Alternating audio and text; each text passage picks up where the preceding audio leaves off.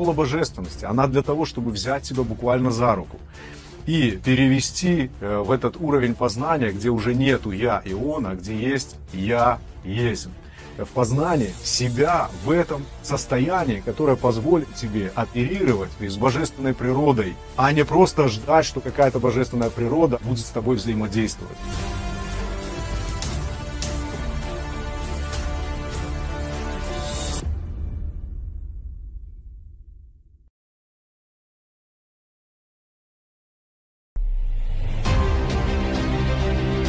Человек является жизнеобеспечивающим центром всей планеты. Круговорот огромных энергий, началь, сил, властей. Только через человека, мой друг! Это та новая ипостась, в которой Бог решил жить сам лично, сотворяя землю.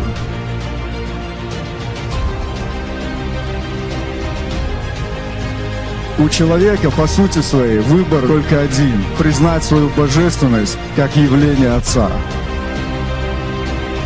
Это жизнь в сознании ныне, что ты божественный.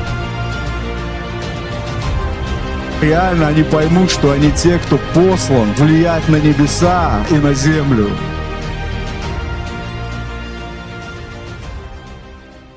Меня видно, слышно? Помашите ручкой. Значит, видно и слышно. Аллилуйя! Пока еще мы присоединяемся, подключаемся. Ты можешь, если ты не видишь своего друга, подругу, брата, сестру, обязательно переслать в личку э, ссылочку на Zoom, чтобы каждый человек был тот, кто должен быть. А где Андрей? А вот не скажу. Сегодня я вас буду развлекать. Но это не точно. Собирайтесь, собирайтесь, родные. Так, видно и слышно хорошо. Отлично.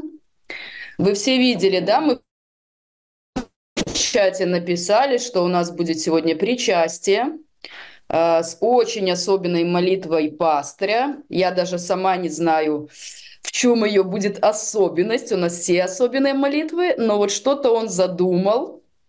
Будет конкретно молитва о вас, а, кто принял твердое решение и едет, несмотря на какие-то трудности, на школу Павла. Я сегодня утром а, включила начало школы божественности.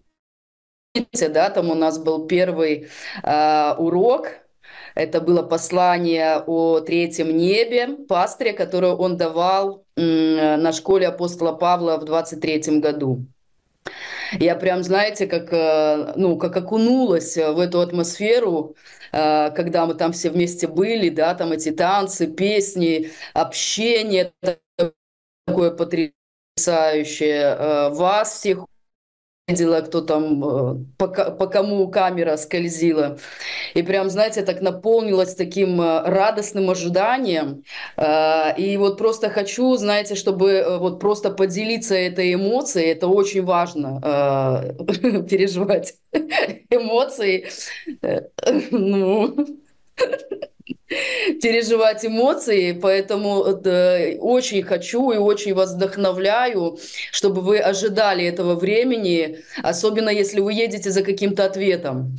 Поэтому вот самое время э, тебе подготовиться эмоционально, внутренне, наполниться этим ожиданием и уже приехать там и не раскачиваться, Потому что многие приезжают, вот э, повырывались там из каких-то рутин, работ, э, там, ну, все что угодно. И нужен какой-то знаете, там время, да, чтобы настроиться на правильную волну. Так вот, у тебя сейчас есть этот месяц, чтобы реально настроиться и просто стяжать то, зачем ты приедешь. Потому как, э, э, ну, я общаюсь, да, многие люди у нас же сейчас горячо очень, потому что регистрация полным ходом, есть еще административные всякие моменты, договоренности, вот, и поэтому Э, ну, есть много общения с вами, пишут в личке, делятся э, и ожиданиями, и для чего они едут, там, а, а, пожалуйста, ко мне лично подойдите и так далее. Вот, и я просто вот э, вдохновляю, ободриваю, чтобы вы на самом деле приехали уже туда подготовленные, чтобы не нужно было там 3-4 дня, а вот прямо сейчас начинайте молиться, видеть, созерцательно то, для чего вы поедете, будете переживать эту эмоцию уже сейчас, потому что школа апостола Павла, она уже началась. Она уже началась, и э, как только вы переступите или со сойдете на трап самолета, э, вы должны уже вот прям реально такой э, заряд бодрости почувствовать, пережить, что вот оно, вот, вот, вот, все осуществится. Вот. Ну и вот наш пастырь драгоценный, а вы думали, что его не будет. У меня просто задавали вопрос, а где же Андрей? Привет! Да, у нас в Турции реально гроза. Шумит прям дождь за окном. Такой... Мне как сразу все улыбаться стали. Ну, что значит пастырь пришел? Привет, пирожочки драгоценные. Так, шалом. Какие мы классные, красивые. Я всегда с таким интересом вас рассматриваю. Э, всегда с таким интересом ваши личики. Ну что, готовы пообщаться? То, что я сегодня скажу, мои родные, это вообще не, не просто о, там, о школе Павла, какие-то объявления, там нет. То, что я сегодня скажу, это будет твоим, э, вот знаешь, э, что ли, как ядром таким, а, ну, даже основанием. Так вот, то, что я сегодня, друзья мои, хочу с вами поделиться. Э, школа Павла – это всего лишь э, такой, знаете, как в данном, в данном контексте, в этой теме, это просто э, пример. Но я хочу поделиться вот с вами, кто действительно хочет быть на школе, хочет поехать или уже едет, или еще в Барении в каком-то поехать, как поехать. Я хочу вот вас благословить этим уроком. Вот тем, что я сегодня хочу сказать. Одни реально вы почувствуете сегодня большую похвалу. Другие, вы сегодня просто, у вас реально трансформируется вообще подход к любому делу. Вот. Ну и много разных эмоций. И третьих может быть, и четвертых, и пятых. Я хочу, чтобы то, что я сегодня буду говорить, оно стало вообще вашим кредо, основанием, таким, знаете, девизом ко всему, что вы делаете. И я имею власть об этом говорить, потому что я так живу. Об этом знают, вот сидят меня, слушают мои родители. Наверное, сынок где-то тут, не вижу его, но я думаю, что он здесь, потому что он едет на школу Павла тоже. Вот моя жена может сказать. И вся моя команда, кто со мной давно, даже и не только давно, знают, что я так живу. Поэтому буду говорить со всякой властью и даже где-то, возможно, немножечко употреблю какой-нибудь легкой строгости. Хорошо? Вам такое нормально? Все, вы тут не какие-то обидчивые птенчики собрались. А тут, знаете ли, ух, кто собрался. Ой-ой-ой, кто тут собрался. Боги. Да. Все боги народов идолы, а вы небеса сотворили. Поэтому, поэтому вот так вот. Да-да-да, вот именно так. Это молодежь меня ну. вообще... Они делают мой вечер сегодня. Это просто вообще... Аллилуйя. Готовимся к ремню от Андрея. Да не, какой ремень, вы что? Итак, родные мои, сейчас мы чуть-чуть с вами помолимся. Я хочу, чтобы уши были максимально открыты. Я хочу, чтобы глаза были максимально настроены видеть. И поэтому э, мы чуть-чуть дадим волю, не чуть-чуть, а вообще дадим течению двинуться. Хорошо? В конце я вас прошу всех остаться до конца, независимо от того, сколько у вас времени. В конце у нас будет причастие. Да, уже еще помазание. Вы чувствуете, что вы как будто уже на школе Павла находитесь вообще, да? Я сам сегодня целый день перед зумом хожу в таком состоянии, такое, как будто вообще забурлило по-настоящему. Все с понедельника. Когда я объявил, что будет Пасха на школе Павла, я почувствовал, что поменялась просто вот так атмосфера. Просто вообще, просто радикально. Наполнилась силой всякая подготовительная работа. Даже мне стали звонить люди, говорят, я уже думал, не поеду, но как услышал про Пасху, думаю, ну как такую Пасху можно вообще пропустить? Все, я еду. И позвонили мне и раз, и два, и три, несколько людей позвонило, что поеду. И это правильно. Я чувствую, что просто вообще поменялась атмосфера.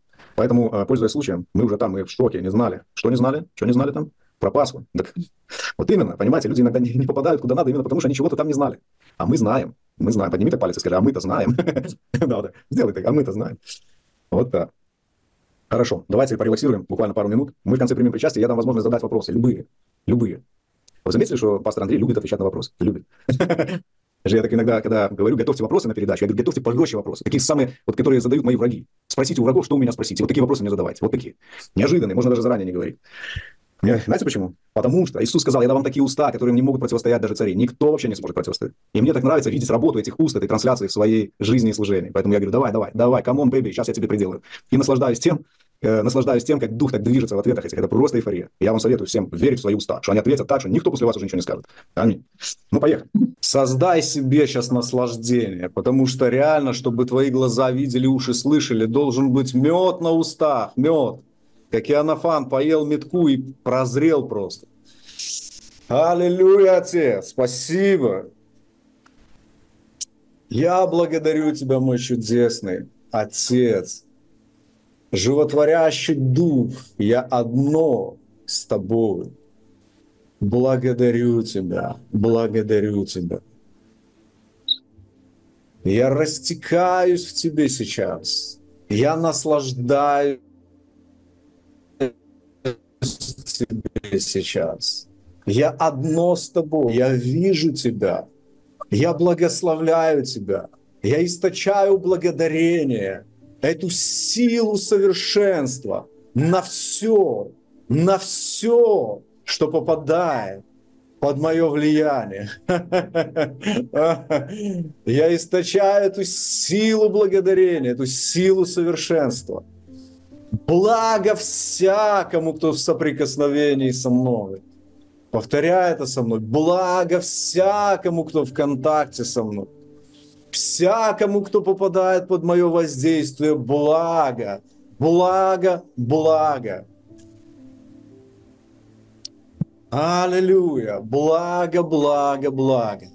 Отец, я благодарю Тебя, что от сладости Твоей еще сильнее проницают все глаза мои. И скажи сегодня, нет ничего сокрытого от глаз моих. Ничто не останется незамеченным. Я вижу больше, больше и больше, больше и больше. Отец, я в наслаждении. Я в восхищении. Скажи со мной это. Я в восхищении. Я в восхищении и восхищаюсь. Я в сиянии, и я сияю. Я в эйфории. Недра твоего во внутренности твоей блаженство веки. Аллилуйя. Ой, чудесный Отец, чудесный Бог. Я прямо сейчас высвобождаю помазание. Это дух премудрости и откровения к познанию Отца, к познанию мира Сына Божьего – Прямо сейчас это помазание проявляется на твоем сознании. Разум воспламеняется, и глаза видят. Видят, как никогда. Твой золотой ковчег сияет. Золотое сознание Христова сияет. Помазание течет по тебе. Я сейчас вижу, позвоночник у кого-то исцеляется. Это не собрание исцеления, но позвоночник исцеляется прямо сейчас. Позвоночник. Я вижу, как нервные окончания, отходящие от позвоночника, восстанавливаются. Восстанавливаются. затылок перестает болеть у кого-то. О, аллилуйя. И уши начинают лучше слышать, слух восстанавливается. Слух восстанавливается, я говорю. Я говорю, слух восстанавливается во имя Иисуса. Помазание бушует в твоей комнате, в твоей внутренности, в твоем теле. Помазание бушует в твоем сознании. И расширение происходит. И скажи со мной это имя, которое превыше всякого имени. Иешуа. Иешуа. Иешуа. Животворящий Дух. Премудрость Божья. Свет и соль и камень всего созданного – в прошлом, настоящем и будущем. И скажи это о себе. Я был, есть и гряду. Аллилуйя. Аллилуйя. Ух, да, скажи, ух. Ух, благодать. Ух, благодать. Уши закладывает, как в самолете. Так потому что мы же в космосе, ребята, вы что? Если не быть здесь. Была такая история, я ее расскажу э, для хорошего, еще больше хорошего настроения. Однажды наши братья, пятидесятники, пошли э, в тюрьму проповедовать Евангелие. Сейчас поймете, откуда эта фраза взялась. Пошли в тюрьму проповедовать Евангелие. И там же пришел в тюрьму проповедовать Евангелие православный батюшка. И они, значит, пересеклись там.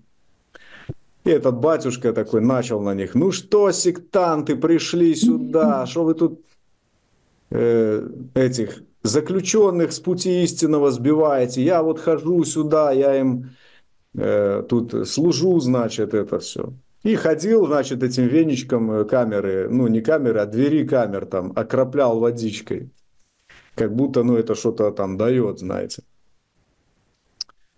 И эти братья, которые пришли в тюрьму проповедовать, они говорят, брат, ну, что ты гонишь? Ты вот этим веничком тут машешь. Зайди к людям в камеру. Хоть скажи пару слов вообще, что Бог их любит. Зайди, не маши веничком здесь. Э, это все как бы ритуал, а ты зайди пообщайся. А батюшка, ну, молодой, и он боялся в эти камеры просто заходить, потому что там зэки сидят, что им говорить, там, знаешь. А они, короче, сами заходили в камеру, и когда дверь открывали, взяли батюшку туда, затолкнули и дверь закрыли, короче. И этот батюшка, ну, такой посмотрел, что дверь закрыли, э, и уже деваться некуда, зэки сели на него, смотрят, и он такой, Э, что-то как там процитировал, короче, из Библии такой, благодать там, тарата, что-то там такое, знаешь. Ну, я не знаю, что он там говорил, ну, что-то, наконец-то что-то сказал. И как сошел на него Святой Дух, и как давай он там им говорить, проповедовать, первый раз в жизни вообще. Потому что деваться было некуда. И, короче, выходит с камеры вот с такими глазами, а эти стоят, смеются, он такой, Ух, благодать сошла какая, говорит. Я вспомнила сейчас тоже, как у нас на домашней группе, помнишь, мы молились, и один помощник э, пастыря, он стоял э, возле шкафа, а на шкафу у нас сидел кот, и, а он лысый помощник, и, в общем, кот этот хвост свесил ему на лысину и водит туда-сюда, а этот такой с блаженным лицом, то ли такой я так пережил помазание, такой Дух Святой такой... гладил меня, говорит, по голове. Да, он говорит, стою, вот так молюсь, и прямо Дух Святой гладит меня по голове там. А, там, а, там, а там просто кот на шкафу сидел и хвостом ему так бэм бэм бэм бэм. Я такой, ну, знаешь, кот это тоже благодать. Так вот, э, батюшка пережил благодать и такой, ух, благодать сошла, знаешь. Это иногда себя надо взять, вот так подставить и ощутить эту благодать.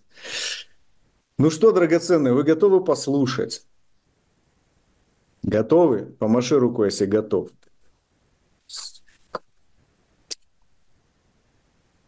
Видишь, Олечка сразу сбежала. На самом деле она любит напротив сидеть. Она сейчас будет напротив меня сидеть и слушать. Вот это настроение, просто огонь, огонь. Хорошо, родные, смотрите. Я сегодня скажу вам один из своих могущественных секретов, каким образом я побеждал всегда любые обстоятельства. Когда ничего не работает, вот кажется, что ничего не работает, ничего не получается, или наоборот, хочется уровень новый, и как будто ты вот на месте топчешься, и что-то у тебя не получается. И вы этот э, способ, его примените, некоторые из вас примените, чтобы, во-первых, приехать, во-вторых, если вы даже уже едете, вы поймете, как нужно ехать на самом деле. Потому что некоторые несерьезно едут вообще. Вот. И в-третьих, э, вы себя реально, э, особенно те, кто едет не просто послушать классных спикеров, ну, даже не просто классных, а самого классного спикера, вот. вы поймете, что ехать надо, спасибо, кто поддержал, э, вот, вы поймете на самом деле, как надо ехать.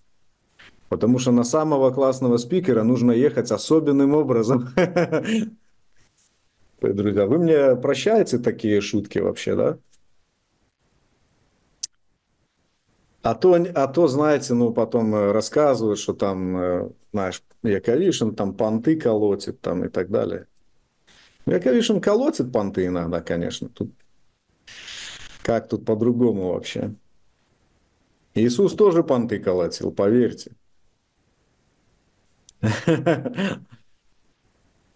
Ладно, я потом про это расскажу. Смотрите, друзья, самое главное, самое главное э, в принятии решений и в решении разных ситуаций это что? Подумай сейчас минуту над этим вопросом. Что самое главное нужно, чтобы принять правильное решение и решить любую ситуацию? Вот, у нас уже свидетельство, затылок перестал болеть. Аллилуйя. Кстати, не забывайте свидетельствовать, и помазание э, сегодня на позвоночнике там двинулось. Обожаем ваши понты. О, ну, класс, кто-то обожает мои понты, круто.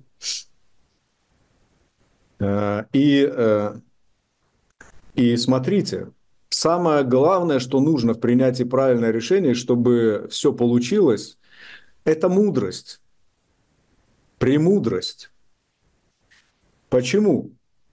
Помните наш э, меч Соломона? Я говорил, что премудрость, она держит в своей руке, первое, в правой руке, что она держит у нас? Долгоденствие, скажи вслух, долгоденствие. Дело в том, что долгоденствие – это не э, слово, которое означает, вообще означает э, нетление, вечную жизнь. Потому что речь идет не о долгих многих днях, а долгоденствие – это один долгий день, вечный, называемый ныне. Потому что именно премудрость, которая является Сын Божий, Сын Божий называется премудростью. Он же называется вечной жизнью. Премудрость – это и есть вечная жизнь. Поэтому, когда речь идет о долгоденствии, речь не идет просто о том, что ты проживешь все 80, а ты 90. Нет. В руке премудрости вечная жизнь. Он, Иисус об этом говорит, я дам жизнь вечную, даю, значит, она у меня есть. Аминь. Ну, с этим понятно. Что в левой руке у нас, у премудрости? То, что вам очень нравится. Да? Богатство и слава. Богатство, да, вот это. Богатство и слава. Из них слава важнее. И вот почему. Слава – это чрезвычайный очевидный успех. Я это повторяю, чтобы вы напомнили в сознании, чтобы все на свои места стало. Слава – это очевидный успех. Помните, что успех может быть таким, что о нем никто не знает. Но слава – это успех, о котором все знают. Понятно? То есть, когда говорят «прославимся, прославимся», знаете, это означает, что успех у нас будет такой, успех будет такой, о котором все узнают. А если бы мы сказали, ну, у вас получится, вот, например, э, ну, какая-нибудь музыкальная группа, вы будете очень хорошо играть. Это успех. Знаете, слаженная группа, все там они играют, хорошую музыку сочиняют. Ну, а вас никто никогда не узнает. Скажите, это слава или нет? Это какой-то успех. Успех, э, что сработались, спелись, там, знаете, но славы нету. Никто об этом успехе не узнает, ни о хорошей музыке, ничего. Э, э, ну, поэтому слава. Слава – это очевидный успех. И в руке премудрости очевидный успех. Вот, например, чтобы воплотить э, свой проект, свои желания, э, нужна премудрость чтобы все увидели, что ты реально смог это сделать. Вот написано, что в руке премудрости есть этот успех. То есть даже применительно к нашей теме, там что поехать на школу, вот успех, чтобы пришел в этом вопросе, нужно проявить премудрость. Вы здесь? И ты сидишь, вот молодцы, и ты сидишь, может быть, и думаешь, ну, я уже голову тут сломал, как проявить эту премудрость, чтобы у меня все получилось. У нас тут дождь усиливается, уже прям аж шумит. Это знак, знак. И вот, для чего нужны, например, нам э, такие проекты? Такие проекты, друзья мои, нужны не просто для того, чтобы лучшего спикера послушать, не просто, чтобы пережить там Божье присутствие, потому что все эти пункты заманухи, пережить присутствие, там, Господь меня чем-то благословит, там, исцеление. Ну, по сути, там можно вообще сказать, что так это и дома можно пережить, и это правда.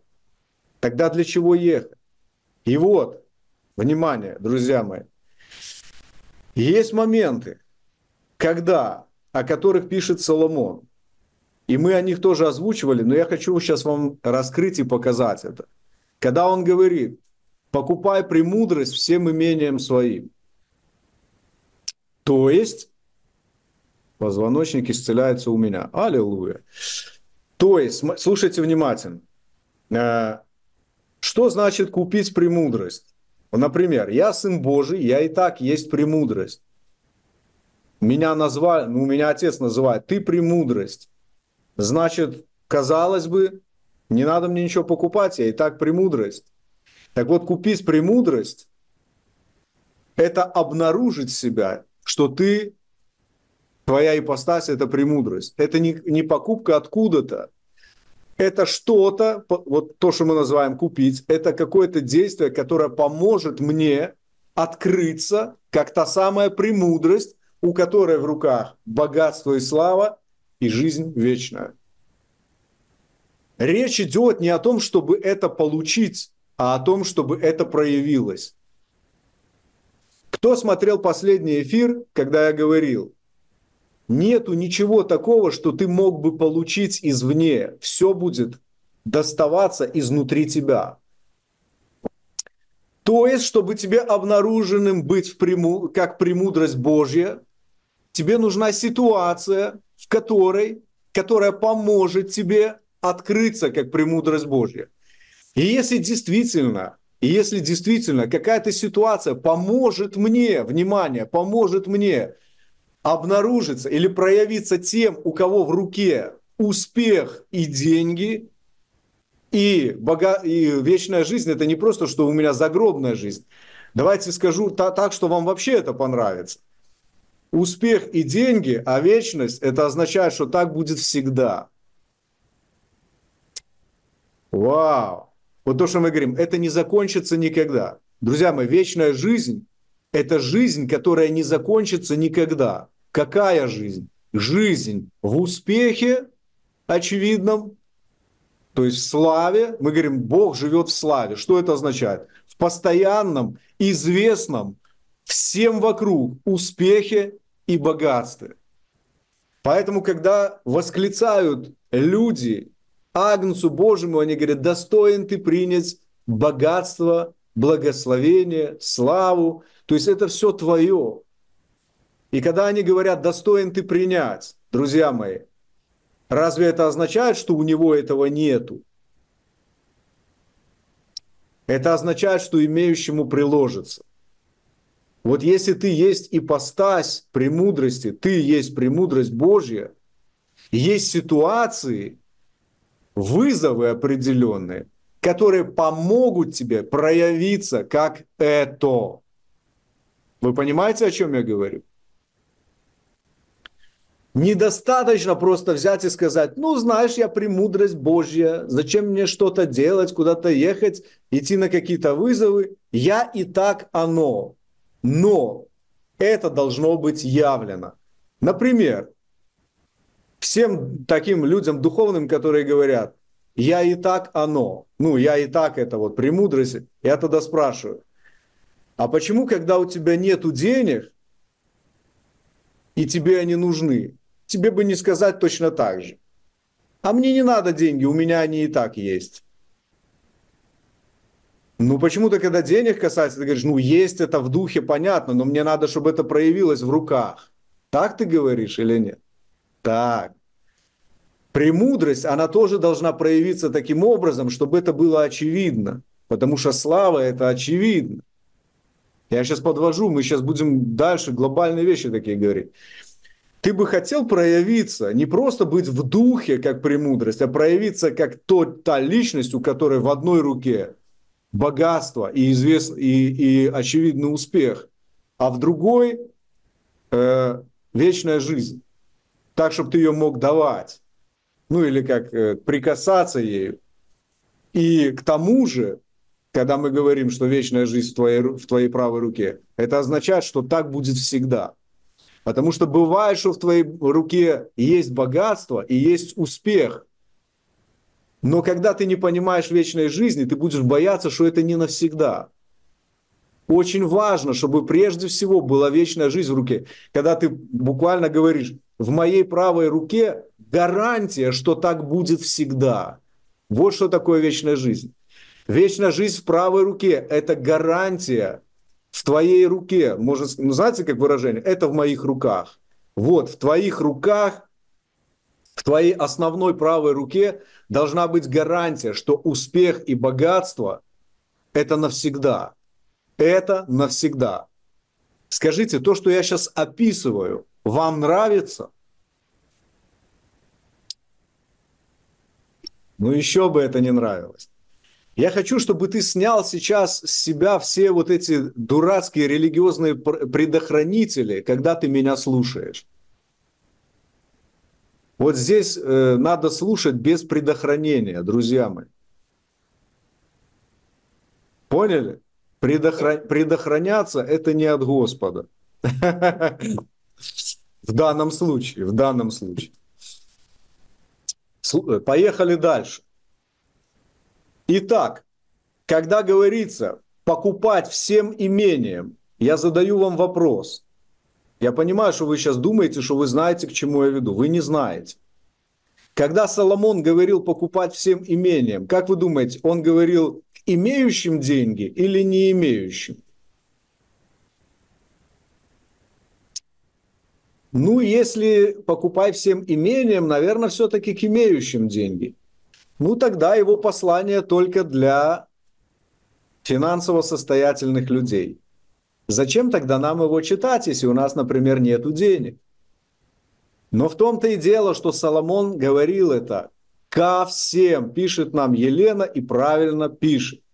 Соломон говорит ко всем без исключения людям, говорит, покупай премудрость всем имением. В контексте того, что я сказал, он говорит, внимание, иди на все, на любую ситуацию, чтобы проявился как премудрость Божья. Дело не в деньгах, потому что имение – это не только деньги.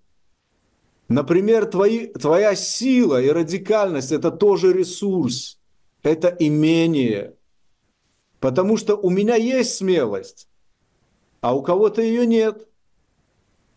Ну, например, он не чувствует себя достаточно смелым. И такие люди, они мне пишут, они говорят, не все такие смелые, как ты. Не все такие безумные, как ты. Не все такие там еще что-нибудь, как ты. И я думаю, видишь, он понимает, что у меня есть ресурсы. Дело не в деньгах. Дело не в деньгах. Поэтому, когда Соломон говорит, покупай всем имением своим, он говорит, даже если у тебя нет денег, тебе надо осознать, какой у тебя есть ресурс вообще для того, чтобы войти в эту ситуацию, которая проявит тебя. Это еще не все, друзья мои. Сейчас только самое начало. Вы здесь? Итак, он говорит, фраза Соломона «покупай себе премудрость, покупай себе явление себя как э, вот премудрости Божией всем ресурсам, которые у тебя есть. То есть иди на все. Нету денег, есть что-то другое. У большинства людей, друзья мои, услышьте меня ради Бога, я вас очень прошу. У большинства людей нету денег в их обычном положении для того, чтобы учиться, для того, чтобы какую-то премудрость к себе, там, знаете, поехать куда-то. У большинства людей нету, тогда кому же пишет Соломон? Правда заключается в том, что когда ты сидишь на одном месте и, например, хочешь вот это называется остаться при своих и еще и премудрость получить. То есть не делая ничего, не идя ни на что, не платя ни за что, взять и проявиться. Ну как? Если ты не выйдешь на ринг, чемпионом мира тебе не стать. Вот в чем правда. Ринг – это возможность. Ну мы же чемпионы, конечно, мы чемпионы. Если ты не выходишь на ринг с сознанием, что ты чемпион, тебе и на ринге не победить. Но сознание, что ты чемпион, это не повод не выходить на ринг, это повод выйти и победить. Когда мы что-то о себе говорим, я сын, так выйди как сын и победи, покажи. Когда ты говоришь, что я богач, выйди и поступи как богач. Даже если денег нету. А какой нужен ресурс для этого, чтобы выйти? Смелость. Ресурс, который дублируется на протяжении всей Библии, это не бойся, не бойся, не бойся. Это круче любой валюты. Выйди. Итак, кто из вас уже хочет быть премудростью, которая в одной руке держит постоянство, в другой богатство и славу. Кто уже хочет? Вот конкретно. Сейчас буду говорить рецепт. Аллилуйя. Аллилуйя. Вот неужели вы больше меня хотите? Я вот не могу поверить вообще.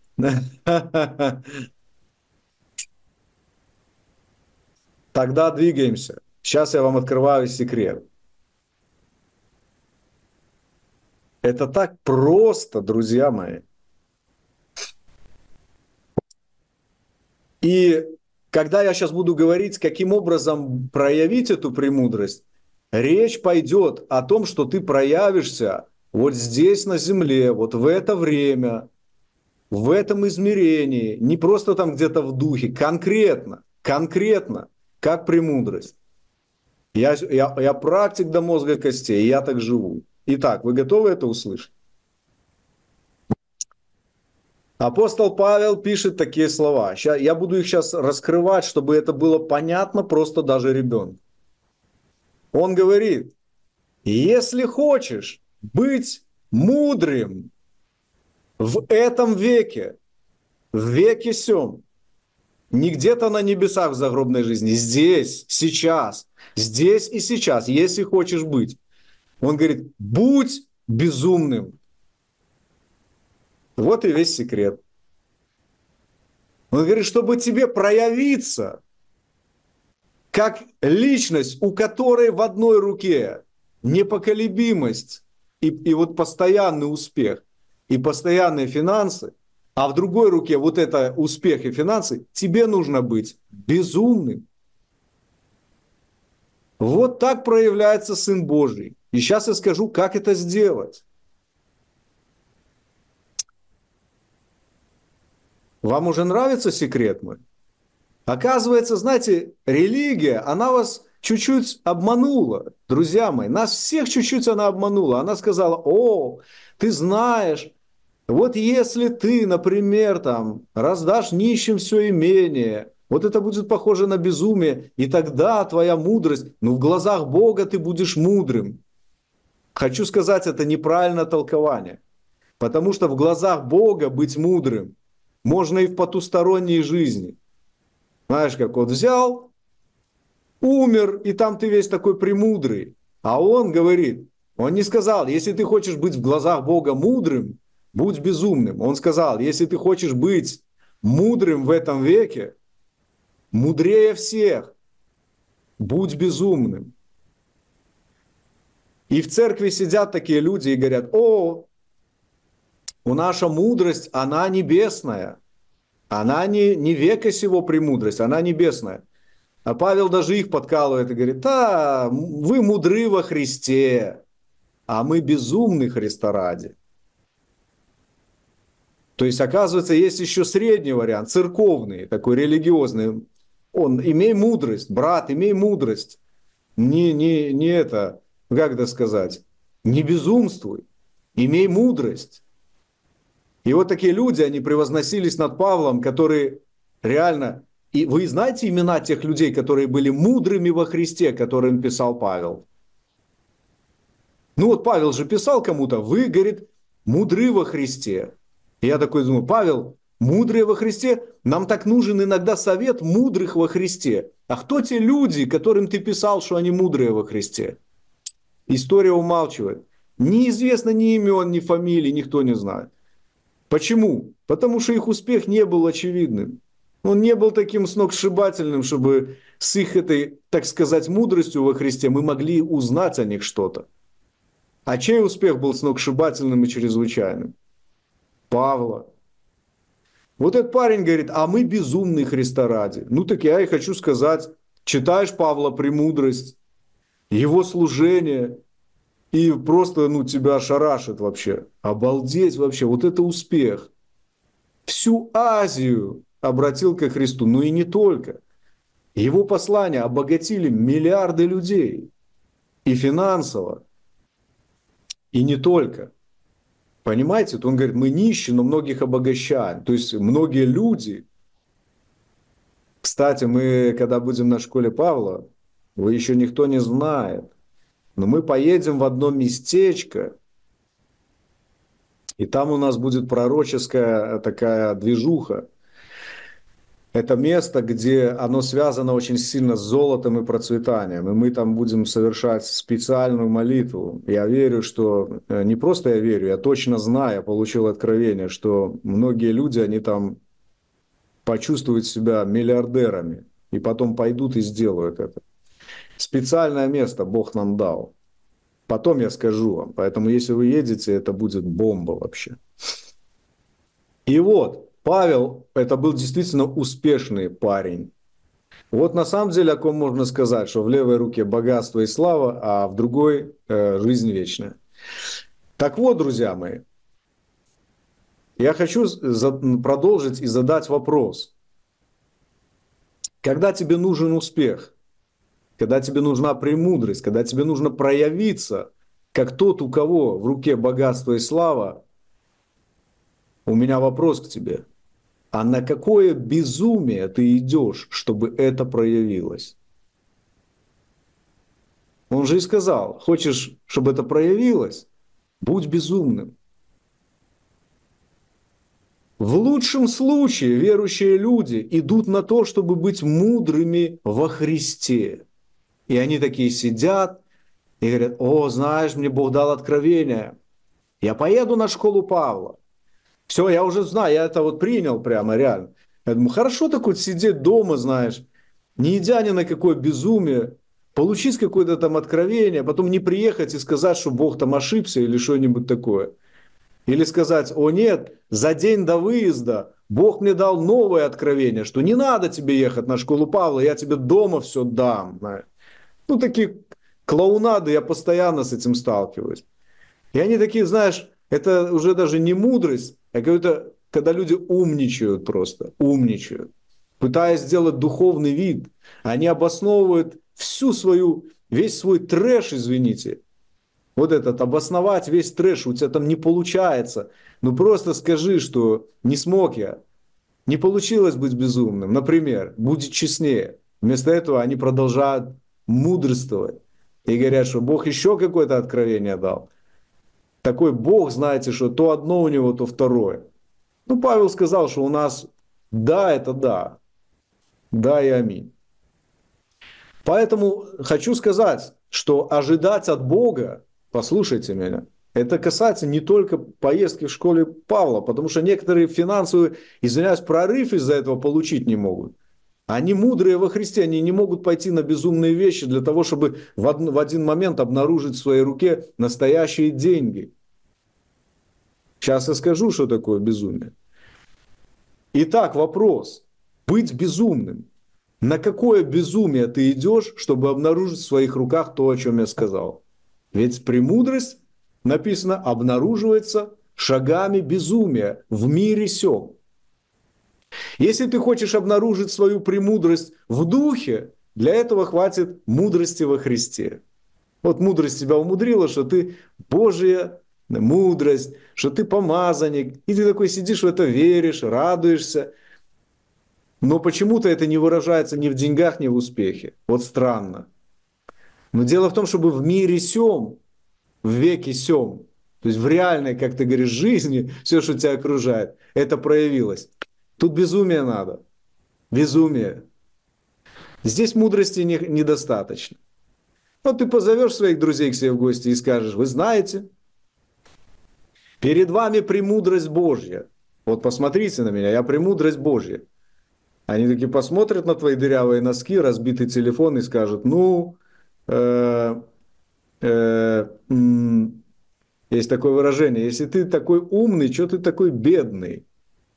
Так или нет? Бедным быть не стыдно. Как там говорят? Да, бедным быть не стыдно.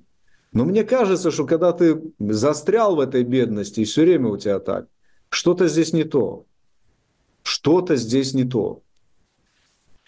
И поэтому, когда ты им это скажешь, они тебя спросят, ну а почему ты так говоришь? А ты скажешь, ну Бог мне открыл, я Сын Божий, я ипостась, я премудрость. Они скажут, ну как-то это нельзя ни на хлеб намазать, ни руками потрогать. Они захотят это увидеть. И Бог свидетель, как захотелось бы в этот момент тебе что-то им показать. Знаешь, позвать их туда, где можно это увидеть знаешь, э, ну там, угостить их чем-то, чтобы они хотя бы увидели, что у тебя процветание какое-то есть, что успех какой-то есть. Не только в деньги. То есть тебе захочется, чтобы это было очевидно. Аминь. И еще один момент. Внимание. Ожидание от Бога. Вот когда человек говорит, я доверил все Господу, я ожидаю. Это вообще Ветхий Завет. Это премудрость из Ветхого Завета. Понимаете? Скажу почему. Это в курсе меч Соломона я говорил об этом. Помните это выражение? Доверь Господу все предприятия твои, и они состоятся. Помните? И люди Нового Завета до сих пор в этом живут. Они говорят, я доверяю Господу, Он там все сделает. Знаете, в чем суть? Суть в том, что в Новом Завете Господь это ты. Поэтому доверяй себе и действуй. Вот и все. Доверяй себе свои предприятия, и они, гарантия, прямо написано, они точно состоятся.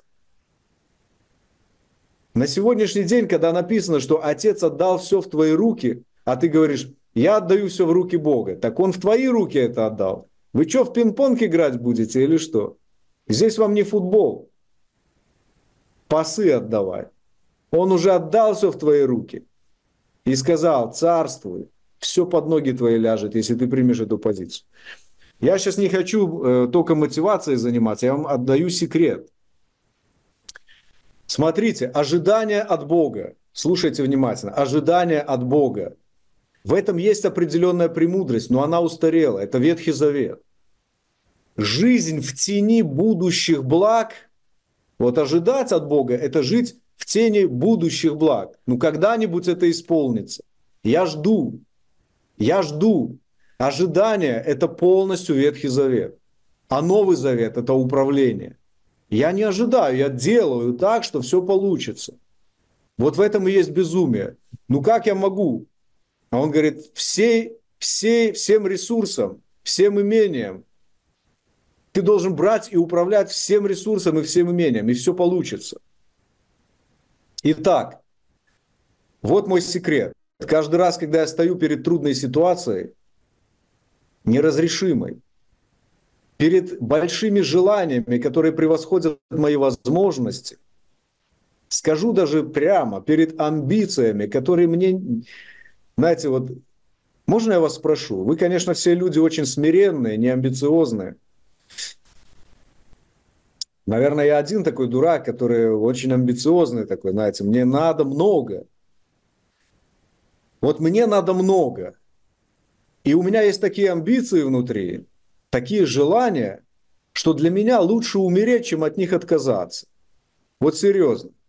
Из-за этого я кричу. У меня там есть микс такой, когда я под музыку кричу. Или будет, как я хочу, или мне это вообще не надо. Мне вообще тогда ничего не надо. Или все, или ничего.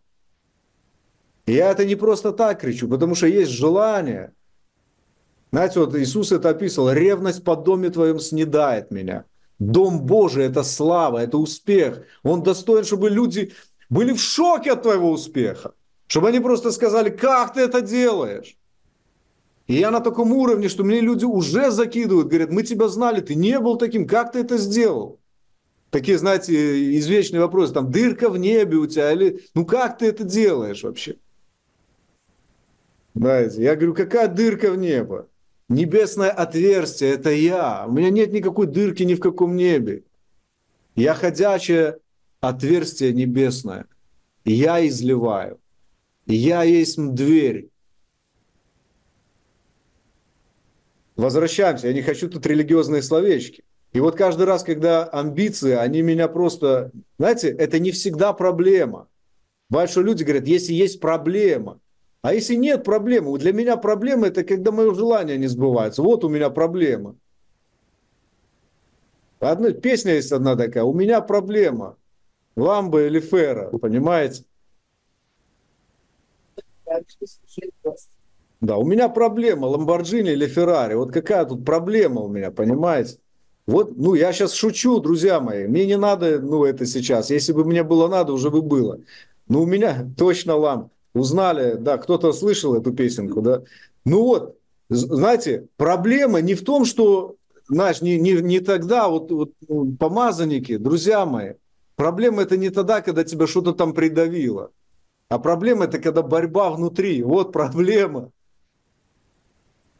Вот у, у Павла была проблема, остаться с людьми или уже идти как бы отдыхать. Он говорит, не знаю, что избрать. Хорошее или лучшее. Говорит, потому что лучше это без вас, без всех, но с вами тоже хорошо. Понимаете? Павел в открытую говорит, без вас лучше, но с вами тоже хорошо. Не знаю, что избрать.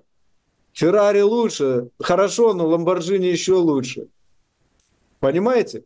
И вот эта про- проблема не в том, что меня придавило, а проблема в том, что я не могу реализовать какое-то свое желание.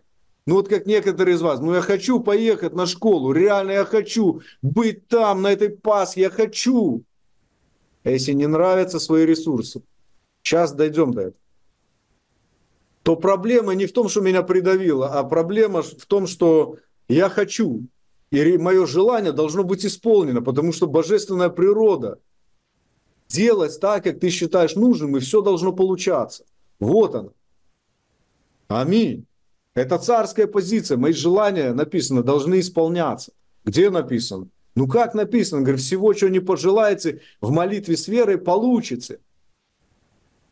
Сам посланник ну, на тот момент он как посланник, апостол отца говорит, послушай, у меня к тебе важное известие, важная новость, желания должны исполняться.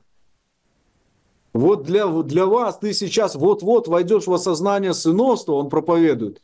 И ты должен знать, что когда ты войдешь в сыновство, там исполняются желания. О, не продешеви в своих желаниях, я тебе клянусь, они исполняются.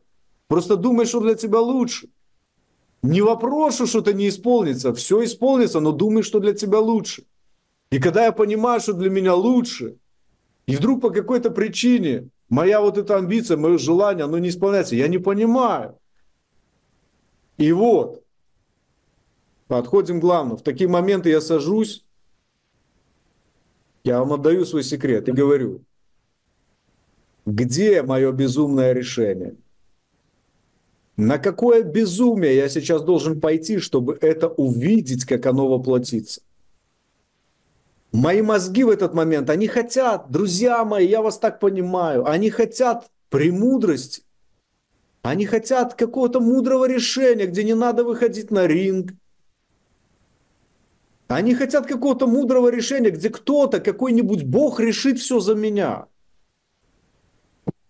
Но нету никакого Бога, который решит все за тебя, потому что Бог теперь живет в тебе и решает все только через тебя. Точка. И это и есть главное безумие. Ну не решится ничего без тебя. Ничего без тебя не решится. Поэтому, когда блудный сын приполз на карачках к отцу, первое, что он сделал, он говорит, оденьте ему перстень. И пусть он управляет. Ну, у меня ничего нету, я же семение просадил, денег нет. Он говорит, вот премудрость заключается, и безумие, и премудрость в одном центральном решении.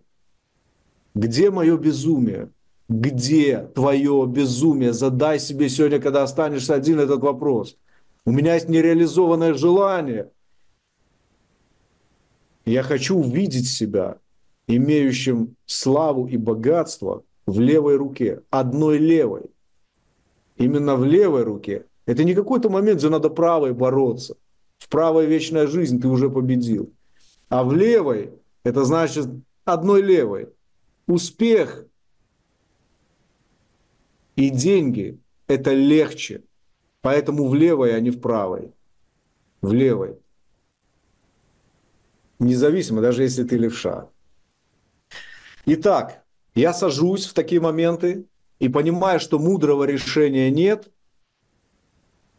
ничего не могу придумать, ничего не могу решить, ничего не могу вообще сочинить, ничего на ум не приходит, как это сделать. И тогда я сажусь и иду от обратного. Я говорю, мне нужно явное проявление или в духе, там, что-нибудь там в духе придумать. Мне нужно явно. Мне нужны деньги там на это, на это. Мне нужно вот, э, ну, билет, деньги там, я не знаю. Вот нужно то, что нужно. Это не только поездки касается, это всего касается. Я сажусь в безвыходной ситуации, когда не могу реализовать свои желания или есть проблема какая-то, я себе говорю, где мое безумие? Я иногда даже себе говорю, Андрей, ты ожирел, потому что последние 10-20 решений, они не были безумными, они были мудрыми, умными. А когда ты последний раз принимал безумное решение – Андрей Евгеньевич, смотрю на, посмотрю на себя в зеркало и скажу, когда последний раз ты делал безумные вещи? Строго так спрошу тебя, вот так прям с таким лицом, как сейчас на тебя смотрю. Когда последний раз ты делал безумные вещи? Когда? Скажу, ну я делал, и я даже другу звонил и спрашивал, может, ты мне денег дашь там. Я делал безумные вещи, попросил у начальника премию на поездку. Да нет, это не безумное решение, это, это такое логичное решение, очень, очень умное, такое аккуратное, ты прям такой красавчик.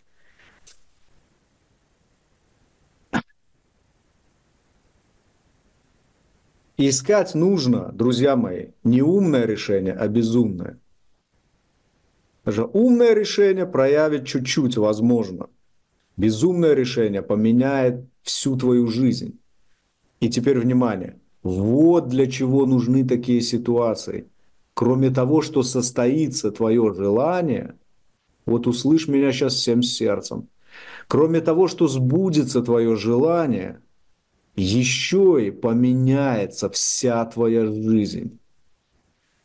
Безумное решение – это не просто решение одной ситуации, это то, что возводит тебя в новую славу, и ты оглядываешься на ту ситуацию и думаешь, да, съездил я там на эту школу Павла, круто было, мы там оторвались. Но дело не только в этом. А дело еще и в том, что эта ситуация с этой поездкой, она меня расширила до новой славы. Я другой теперь. Вот это и есть то, о чем говорит Соломон. И ты другим станешь, если включишь весь свой ресурс через безумие.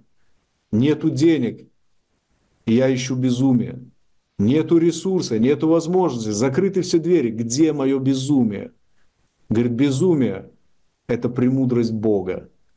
И вот, кто-то написал, как Иисус. Конечно. Вы знаете, какой мне вопрос часто задают неверующие люди? Про крест. Ведь крест – это безумие. Правда ведь?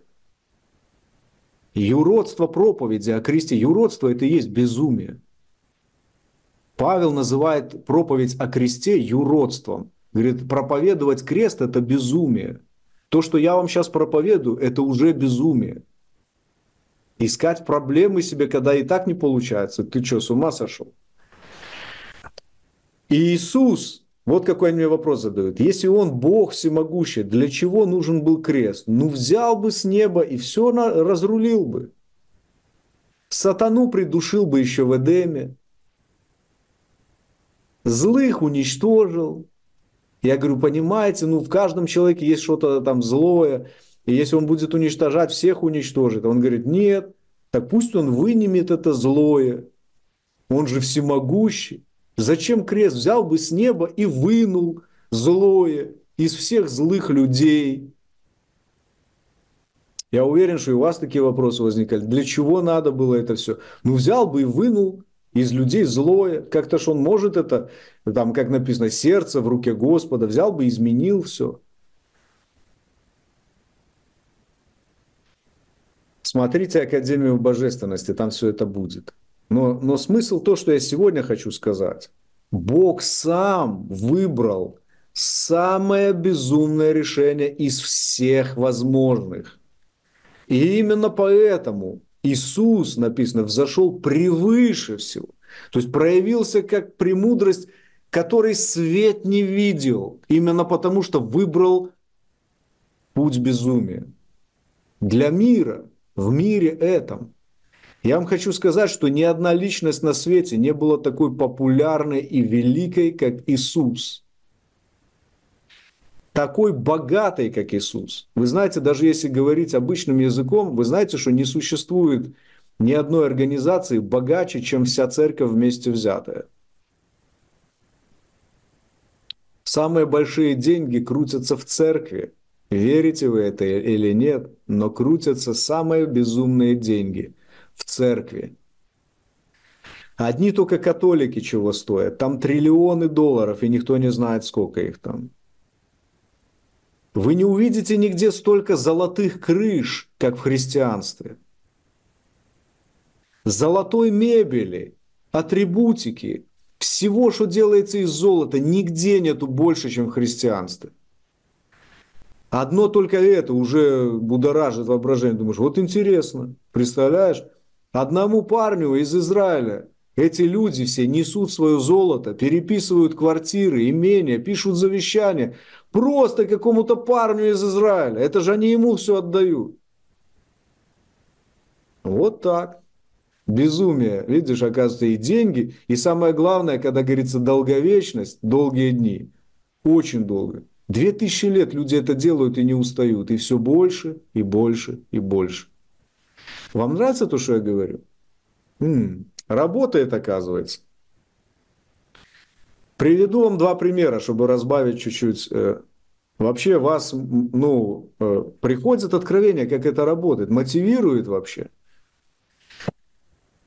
И поэтому, когда я сталкиваюсь с ситуацией, и это вам поможет, друзья мои, если только ты меня сегодня услышишь, сядешь и э, подумаешь, даже те, кто уже едет на школу, и ты подумаешь, ну это, наверное, тем, кто не может поехать. Не-не, я еще не закончил, сейчас и вам скажу кое-что. Ваша поездка обязательно должна быть э, чистым безумием. Я уже наконец хочу увидеть сынов, у которых в руках реально богатство и слава. Ваша поездка должна быть чистым безумием. Реально. Да-да, вот так. И приведу два примера. Одна сестра, я не знаю, она может в Зуме или нет, она из э, России там, написала ситуацию мне одну, говорит, нужно, ну, послушайте, это финансовая интересная ситуация, я сейчас хочу э, вам ее рассказать, чтобы вы увидели, как это работает одно из. Это небольшое свидетельство, но оно очень показательно. А, каждый год она там должна отправлять э, налоги, отчет налоговый по месту жительства в налоговую инспекцию. Но из-за того, что она сменила место жительства, она отправила этот отчет по старому месту вместо нового. Понимаете, о чем речь? Ну, отчет должна была послать в старую налоговую, и отправила. А надо было в новую, поскольку она переселилась. И что сделала налоговая? Новая налоговая выписала большой штраф за то, что отчет не пришел. И она им звонит и говорит, я отправила просто по привычке туда. Они говорят, ничего не хотим знать. Штраф, будьте добры оплатить. И она мне пишет, говорит, что мне делать? С одной стороны, я как, э, ну, хочу в духе там сказать, а ну-ка уберите свой штраф. А, в, а с другой стороны, а если они не уберут, мне, как мне себя чувствовать при этом? Ну, они должны меня послушать в духе или нет? И вот что я сказал. Вам интересно, что я ответил? Я говорю, послушай, во-первых, тебе нужно занять позицию такую, что ты не суетишься по поводу денег. Вот если бы ты себя чувствовала сейчас миллионером, ты бы посмотрела на этот штраф, сказала, да, извиняюсь за выражение, да задавите с этими штрафами. На тебе твой штраф, забери и все. Но вместо этого ты бегаешь, как будто у тебя последние деньги отняли. Поэтому, независимо от того, что они тебе ответят, у тебя есть выбор, настаивать на том, что они должны отозвать штраф. Второй, второй, второй вариант – это сказать себе, да, у меня много Пускай забирают. Если даже заберут, не, ну этот штраф не, не, от, не отзовут, пусть забирают. И она говорит, спустя время звонит, пишет мне и говорит, к сожалению, штраф не отозвали. Они сказали, ничего не знаем, ваши обстоятельства не отозвали. То есть вариант приказать в духе не сработал. Но говорит, я решила идти двумя путями. Отзывать в духе и в то же время говорить себе, да у меня много, даже если не, не отзовут штраф, да я его заплачу. У меня нету этих денег, ну как-то я решу этот вопрос. Ну и короче, сработал второй вариант. Ей на карточку непонятно откуда пришли деньги на этот штраф. Вообще непонятно откуда. И она рассчиталась по, по счетам и говорит, вот интересно, как только я рассчиталась, пришел штраф за какую-то парковку. И она говорит, наверное, это кому-то не нравится, что я вот так спокойно взяла и рассчиталась этим штрафом. Я говорю, ну теперь у тебя есть опыт. Накорми парковщиков, заплати штраф и скажи, у меня много. И посмотришь, будет еще раз чудо. Я так живу. Если бы вы знали, сколько такие вот люди, они отняли у меня денег. Ну, отняли в таком, в кавычках. Нажились, проехались на мне. И мы с Олей уже привыкли. Я говорю, да, государство не обеднеет, забирайте. Да, вот, да, да, да. Государство не обеднеет, забирайте. И скажите, когда я вам сейчас это говорю, вам нравится это? Не нравится. Большинству из вас это не нравится, потому что вы христиане, привыкли, вот знаете, даже привыкли, и религия харизматическая, она научила, да враг вернет в семеро, да ему там за все это врага этого, блин. И мы поэтому приказом, ну-ка вернуть в семеро. Я знал людей, которые, когда пришли ко мне, учились на меч Соломона, они меня спрашивали, как сделать так, чтобы старые долги в семеро вернулись. Я говорю, вот если ты хочешь получить в семеро больше, чем было, тебе не долги надо возвращать, а простить эти долги, забудь за них. И в семеро больше придет. Вот так это работает. Ты хочешь выдернуть из зубов этого должника. Но на самом деле обещание в семеро – это не то, что ты пойдешь ловить вора и отбирать у него в семеро. А наоборот, когда ты понял, кто вор, вот в этот момент ты от этого отдаляешься, и в семеро тебе э, возвращается. Это не вор, там, знаете, мы ему зубы будем выбивать, чтобы он в семеро вернул. Когда ты знаешь, что у тебя много и умножается, в семеро, больше, еще что-то, вот так оно работает. Хороший пример.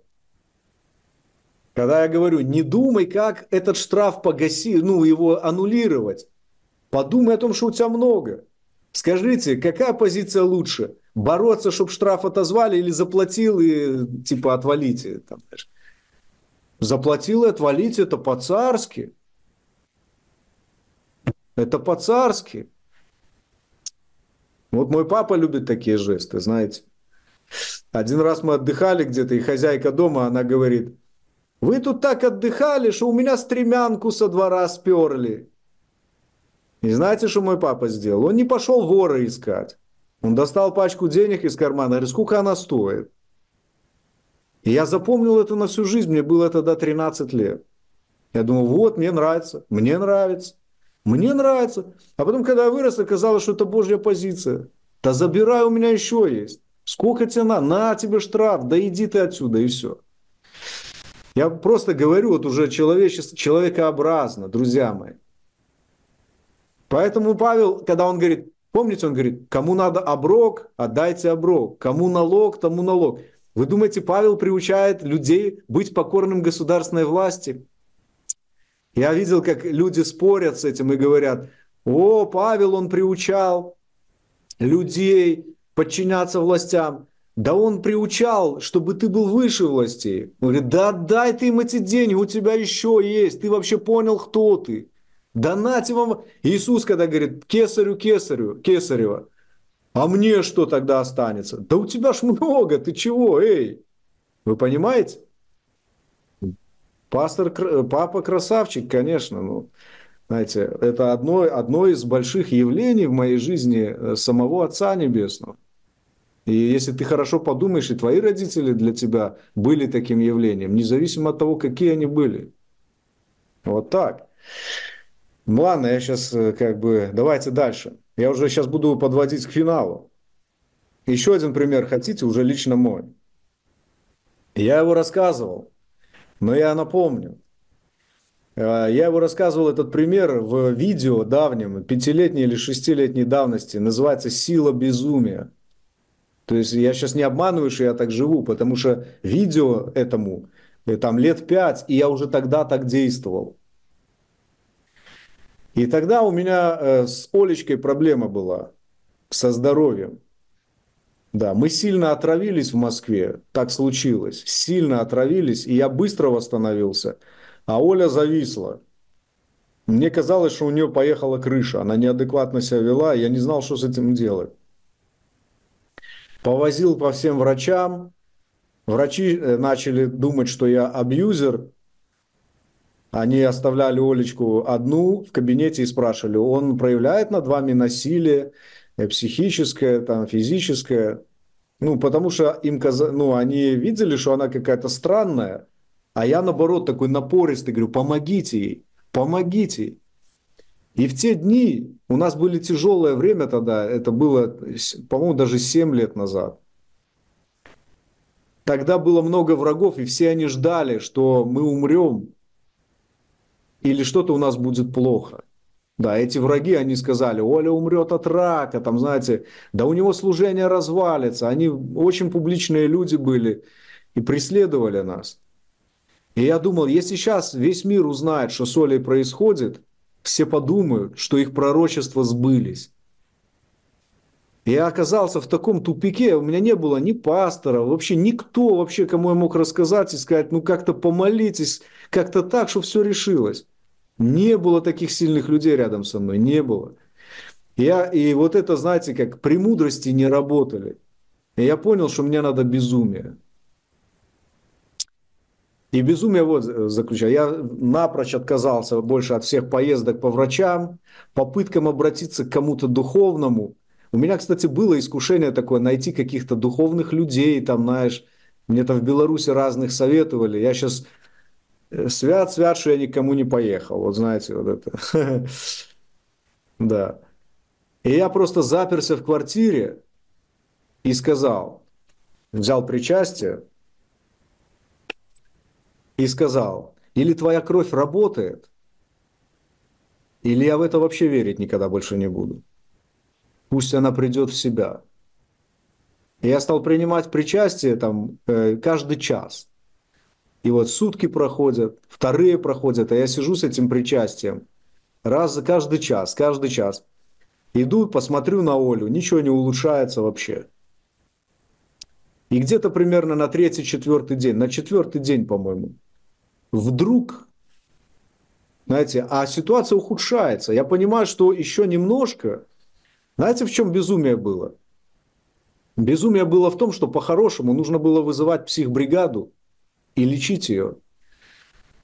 Но для, ну, понимаете, ситуация, у нее обострилась очень сильно, она лежала там вообще такая, все плохо ей было. И я понимал, что если потом, не дай бог, дойдет до необратимых процессов, и меня потом спросят, почему ты не вызвал врачей, я не знаю, что мне было делать. Мне, ну, я не знаю, со мной бы как-то, ну, была ситуация очень плохая. Я еще даже опасался, думаю, а вдруг еще худше, это же было отравление поначалу, а вдруг она не придет в себя вообще никогда. И я решил не делать ничего. Вот мое безумие в том было, что, ну, на тот момент, не делать ничего. И я принимал причастие там каждые два часа, каждый час. И ходил на нее смотреть. И в одно утро, когда я проснулся и пошел снова это делать, я уже внутри себя почувствовал, как будто забрежил свет какой-то. Вы знаете, как будто что-то светлее стало. И моя молитва, она становилась каждым днем все агрессивнее. Я настаивал, я настаивал, я говорю, кровь работает, кровь работает. Я прямо взял, э, брал причастие, ставил его на стул и обходил кругами, ходил вокруг него, ходил, наматывал эти круги. Вам интересно, чем все это закончилось? Ну вы же Олечку видите? Закончилось это тем, что когда я это делал утром, на кухню пришла Оля, абсолютно нормальная. Просто вот как солнышко вышло из-за туч. И я даже когда ее увидел, я сразу поверить не мог. Я всматривался, думаю, да ладно, да серьезно? И все, как рукой сняло. Вот просто ничего больше не было. И в тот момент я получил, знаете, вот эта ситуация, которая вынула из меня то, что я вам сегодня говорю, премудрость Божия. Я думаю, не можешь ничего сделать, будь безумным. Безумным будь, просто упрись вообще, знаешь, там. Но я на тот момент готов был пойти на все, на любые там шаги, если бы они были, но их не было. Но их не было. И я понял, знаешь, вот эта ситуация, она меня вывела на новый уровень бесстрашия. Потому что мне пришлось быть очень радикальным и смелым в той ситуации. И поэтому, когда сегодня люди спрашивают, как ты это делаешь? Вот так, вот так, вот так я это делаю. Когда я не могу выйти из ситуации, я просто сажусь и говорю, где мое безумие? Где основание моего безумия? Друзья мои, на школе Павла будет Пасха – Сегодня вы уже понимаете, я призываю вас э, поискать камень своего безумия. Всех, кто еще не знает, поедет ли, кто хочет поехать, и даже те, кто уже заплатил за все и едет. А в чем безумие твоей поездки? Из-за чего должно проявиться то, что я сказал? Премудрость. Из-за чего? Что, что такое, во что такое безумное ты вошел, чтобы это проявилось? Ведь я хочу, чтобы ты со школы Павла приехал вот с эти, в этой ипостаси. В левой руке, в правой руке. И это будет Пасха. Знаете, почему я сейчас говорю про Пасху?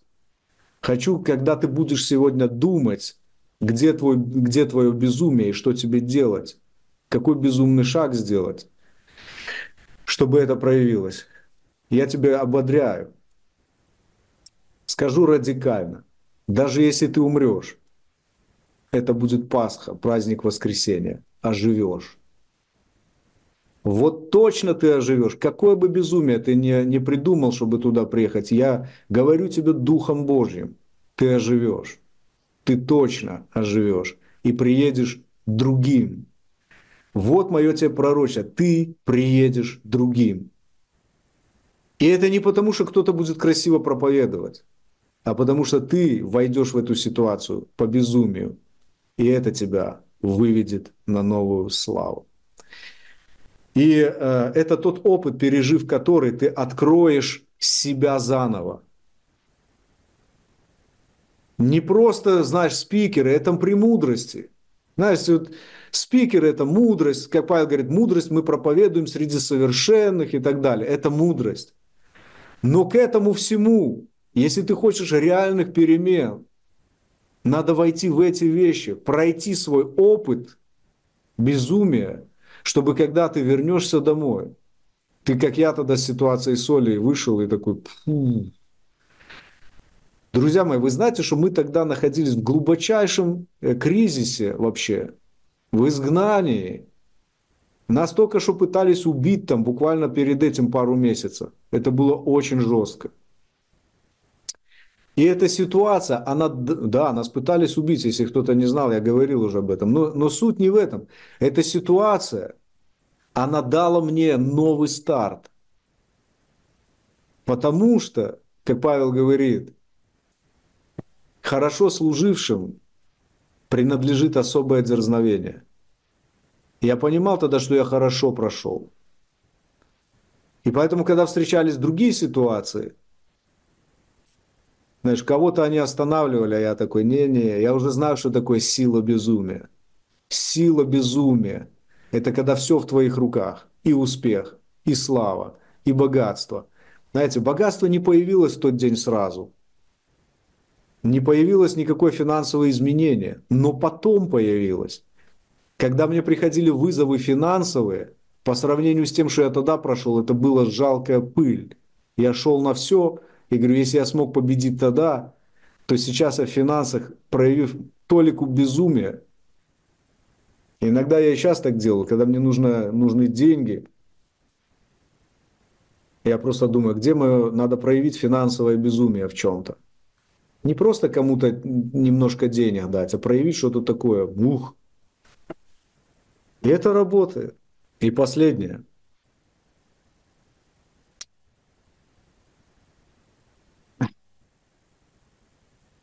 Вы уже поняли, да? Сейчас мы будем молиться, и это будет особенная молитва. Она поможет тебе вот в этой радикальности, поможет тебе приобрести. Потому что некоторые вещи, которые я приобрел, в чем я открылся, я их могу просто так передавать. Могу просто так активировать, чтобы тебе не приходилось э, ну, с нуля там все начинать. Я дам совет.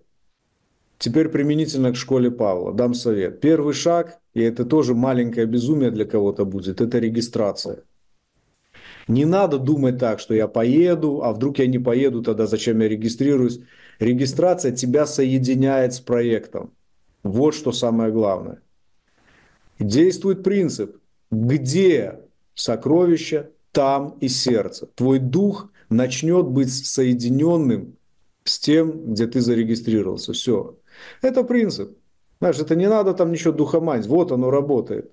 Ты регистрируешься, и первое, что начинает делать, во-первых, твоя регистрация, она начинает работать на весь проект, потому что из регистрационных взносов состоит бюджет всей конференции. И он огромный, огромный. У нас два спикера, два, две приглашенных музыкальных ну, группы, огромное число людей, которых мы должны заплатить за их приезд сюда, перелеты через океаны, и я уже не говорю за там салюты и прочее разное. Огромный бюджет у конференции, как никогда. И твои деньги, они уже начнут работать на это, независимо от того, что будет у тебя дальше. Вот твое соединение. И когда отец делает этот проект, в нем как маховик такой закручен, и вдруг ты с этим соединяешься. Что делает? Маховик начинает крутить и тебя тоже. Как воронка такая. Понимаете, да? То есть твое желание, как написано, открывайте свои желания, оно действенное. Смотри, отец, я хочу. Я открываю свое желание, я открываю свой разум для энергии. Помните, как написано, что он превыше всякого ума соблюдет твои помышления. Что это означает? Он поможет тебе устоять в этом пути. Поможет сохранить картину. Это называется озвучка действия. Вот так это работает. Это первое, с чего надо начать. Потом откроется второй шаг. В чем заключается твое безумие? Думать тебе. Тебе надо сказать, в чем я могу поступить безумно так, чтобы реально получилось поехать. Потому что позиция, что я буду ждать, Господь решит, не, не сработает. Мы так не учим, и поэтому у нас это не работает. У нас работает управление. Поэтому второй шаг тебе нужно будет получить после этого. На какое безумие надо пойти, чтобы это свершилось, пережить этот опыт приобретения вот этой ипостаси, открытия в себе, решать тебе. Но я тебе скажу, в чем, как понять, сделал ли ты безумно. Хотите узнать? Последний тест, как понять, безумно это или нет. И сейчас мы будем молиться. Вот как понять. Когда говорится об Иисусе, а мы уже говорили о том, что он поступил безумно, придя в этот мир и делая такие вещи, которые он делал. Так вот, Иисуса называют камнем преткновения и соблазна. Безумие – это тогда, когда тебя никто не поймет.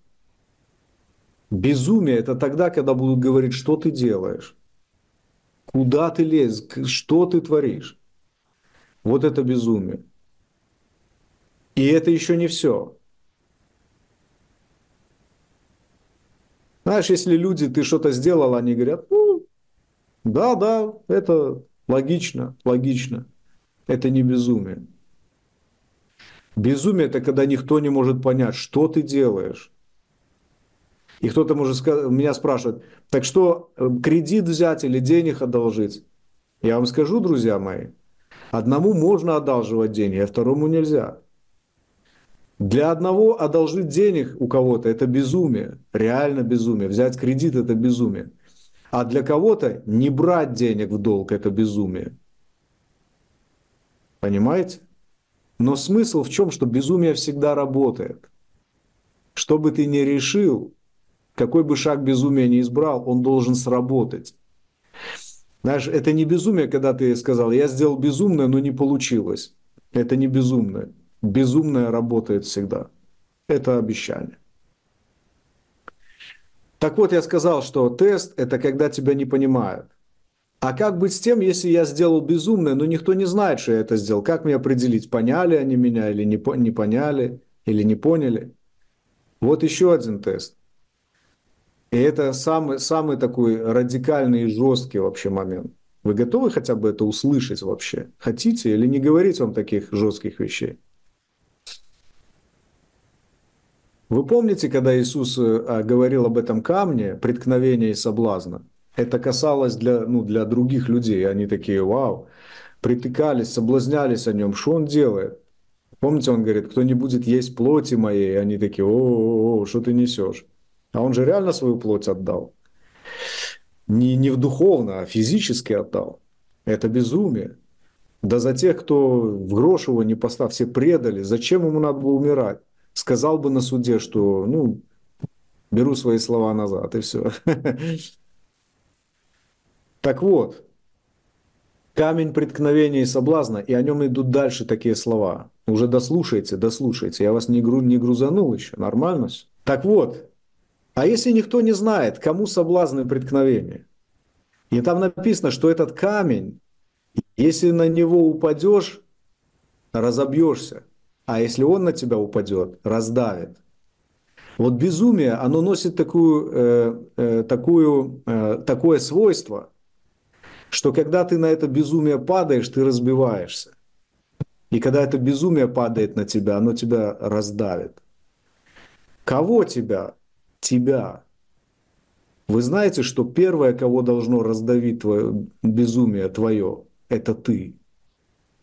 Ты должен сделать что-то такое, реально, чтобы ты сам от себя в шоке был, что ты вообще так можешь делать. Это должно раздавить как будто тебя старого на совсем. Все, что ты ценил, все, что ты берег, все, чего боялся, должно быть раздавлено от твоего безумия. Когда ты сделал, вот берешь и принимаешь решение и говоришь, это же самоубийство. Это реально, это, это, это просто. Меня это размажет. Вот знай точно, это верный признак того, что ты нащупал этот камень. Если на него упадешь, разобьешься. Если он упадет на тебя, раздавит. С какой стороны ты не подойдешь к этому решению, видишь, что здесь одни осколки от твоего прежнего, твоей прежней жизни останутся. Вот безумное решение оставляет только осколки позади. Главное, чтобы по личному откровению. Вот, Ольга, я вам отвечу на этот вопрос. Вот это главное, чтобы по личному откровению, это называется мудрость во Христе. Да. А есть безумие Христа ради. Вот такие дела. Разницу чувствуете вообще или нет? Безумие, оно, знаете, не, не выгадывает. Типа, вот это мне открыто, а может это не открыто. Знаете, оно идет на все. Вот я вам с пример рассказал, у меня не было никакого откровения, что Оля придет в себя. Я просто уперся. Меня никто не надоумил. Мне не был голос с неба. Я просто поставил на карту, как, на, как говорят, все, всю свою судьбу. И думаю, или так, или никак. Точка. Поэтому, когда вы говорите по личному откровению, ну, не было у меня никакого откровения. Вы знаете, что с откровением очень легко. Тогда тебе понятно, что делать. Вот что такое откровение. А что насчет долины смертной тени? Какое откровение? Когда нет никакого откровения. Нет никакого откровения. И когда ты понимаешь, знаешь, что такое нет откровения?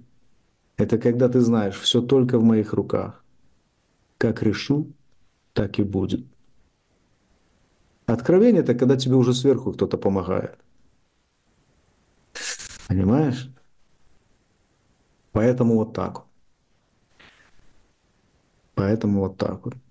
Итак, мы сейчас помолимся. Вот причастие. Скажите, тема такая для взрослых. Скажите, да?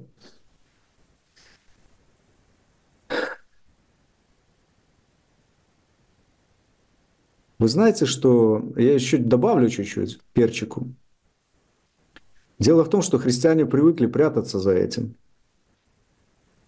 У меня нет откровения. У меня нет откровения. Но Бог мне откровения не дал. Это просто очень удобный способ перевести все ответственность за все свои решения на какое-то откровение. Хотите, я вам скажу что-то еще за откровение? Вот ты идешь, слышишь в кустах, режут и убивают какую-то девушку. Ты туда вмешаешься по откровению или в любом случае?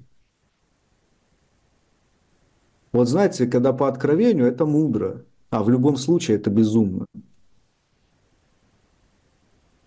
Так вот, когда ты что-то делаешь, в любом случае, вот это и есть безумие. А когда по откровению, это есть мудрость во Христе. Как бы так девушку защитить, чтобы самому не рисковать? Может, помолиться лучше? Вот у, у таких людей, у них обычно никогда нету ни денег, ни успеха. Потому что мне нужен успех в любом случае, а не по откровению. В любом случае. Это суть моей природы. Я должен быть успешен. В любом случае. На ринге победу одерживают не по откровению. А туда идут и, знаешь, жизнь или смерть. Пошел, знаешь, или грудь в крестах, или голова в кустах. Вот так происходит это. Поэтому, драгоценный, возьми сегодня и скажи, мне нужен успех в любом случае, это моя природа.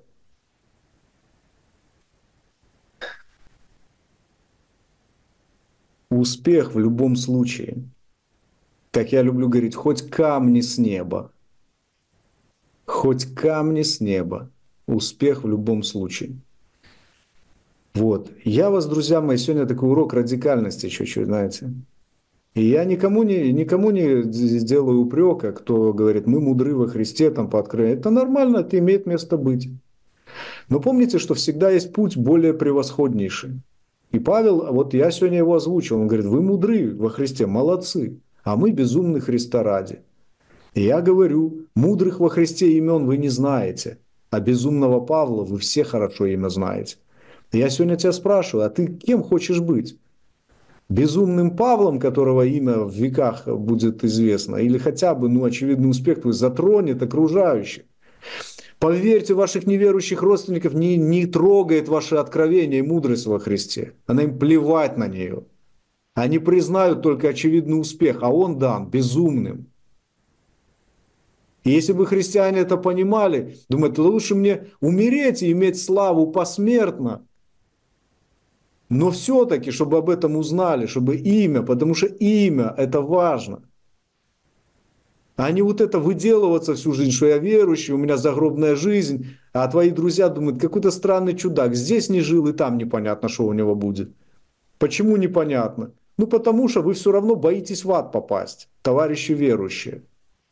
Поэтому вы сами не знаете, куда вы попадете.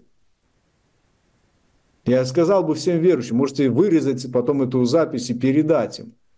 Вы самые несчастные существа, вы здесь не живете. И в загробной жизни не уверены, куда попадете. Что за бог у вас вообще? Позор. Так, так неверующие лучше вас, они хоть здесь живут на всю катушку, а вы и здесь не живете, и там не знаете, куда попадете. А я еще лучше всех, потому что я безумный, я и здесь хочу жить на всю катушку. И вообще отсюда никуда уходить не собираюсь. Вот так. И никакой загробной жизни в своей голове я не содержу. Я содержу в своей голове только одну жизнь, внегробную. Гроб мне не нужен, чтобы быть на небесах. Ну, а там посмотрим. Аллилуйя. Давайте, друзья мои, сейчас мы помолимся. И вот наша молитва вот какая будет. Чтобы ты знал, что тебе произносить. Возьми сейчас, я хочу, чтобы ты реально получил, пережил состояние, где ты перестанешь бояться своего собственного безумия. Помните, мы часто говорили в передачах про отсутствие матриц. Не должно быть матриц. Так вот, если приводить обычную формулу, безумие – это и есть отсутствие любых матриц. Вот и все. Безумие не признает никаких условий, оно не видит никаких преград. Никаких вот это деньги есть, денег нету. Безумие идет на все, как будто нет никаких стен. Оно ходит сквозь стены. Поэтому быть безумным – это жить без матриц. И хотя бы иногда надо давать себе прокачаться по теме жить без матриц. Один проект. Не можешь жить-то каждый день, ну хотя бы раз в году. Поживи без матриц, сказать, я не буду думать ни про что вообще, все, я безумный. Ради того, чтобы явиться как дух животворящий, как премудрость. Поэтому сейчас будешь молиться и подумай внутри себя, где во мне этот камень безумия? Где во мне этот камень, о который я разобью, все, чем я жил до этого? Где этот камень соблазна, о который я сам изумлюсь просто? Как я способен на такое? Где он? Где он? И скажи, знаешь, может, ты никогда такой молитвой не молился. Возьми, помолись, скажи, что я даже сам приткнусь о свои решения. Я даже сам разобьюсь о свои решения. Потому что так, как раньше, я уже не хочу. Вот что такое, с каким настроением надо ехать на школу Павла. Сказать, так как раньше, я уже не хочу. А что раньше? Да, жизнь славная во Христе, все нормально. Спасенный, небесный, наднебесный, Бог там, ну, ну все самое лучшее, все. Но просто жить как раньше я уже не хочу. И все. И все. Все уместится в эту простую формулу. Как раньше жить я не хочу ни с ярлыком Сына Божьего, ни без Него, но моя жизнь должна перейти в новую славу, как положено. Аминь. Сейчас можешь закрыть свои глаза, посмотри внутрь себя, отвлекись от всего, просто ни о чем не думай, кроме этого –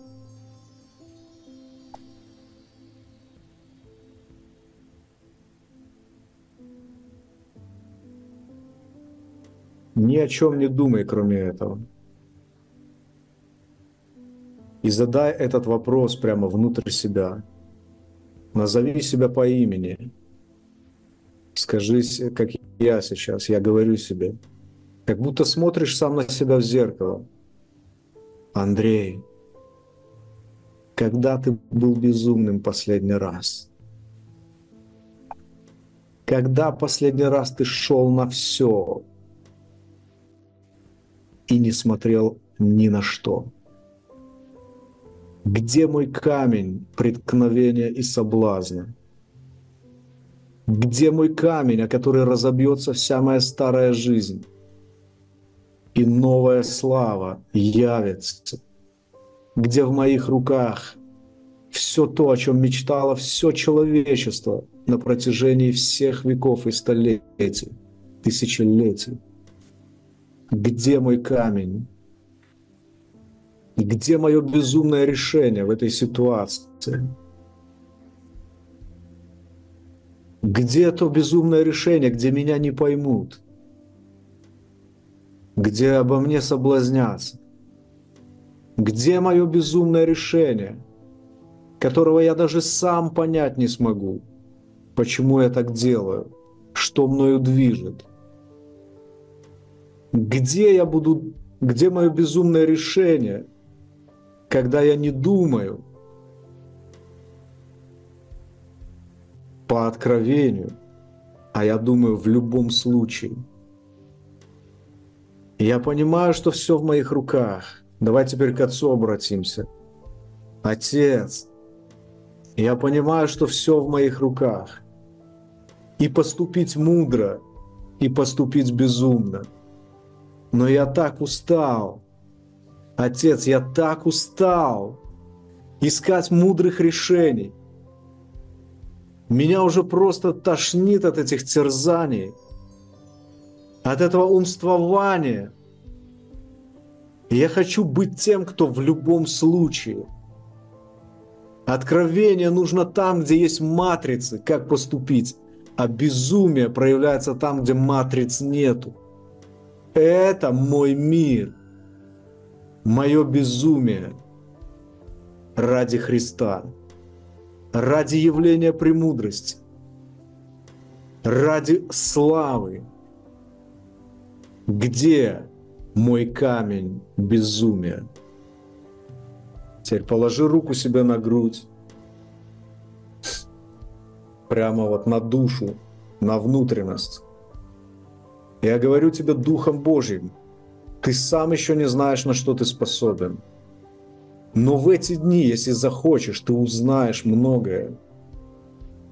Я прямо сейчас говорю и транслирую, что помазание, животворящий дух движется в тебе и открывает тебе тебя заново. Ты узнаешь себя таким, каким не знал никогда.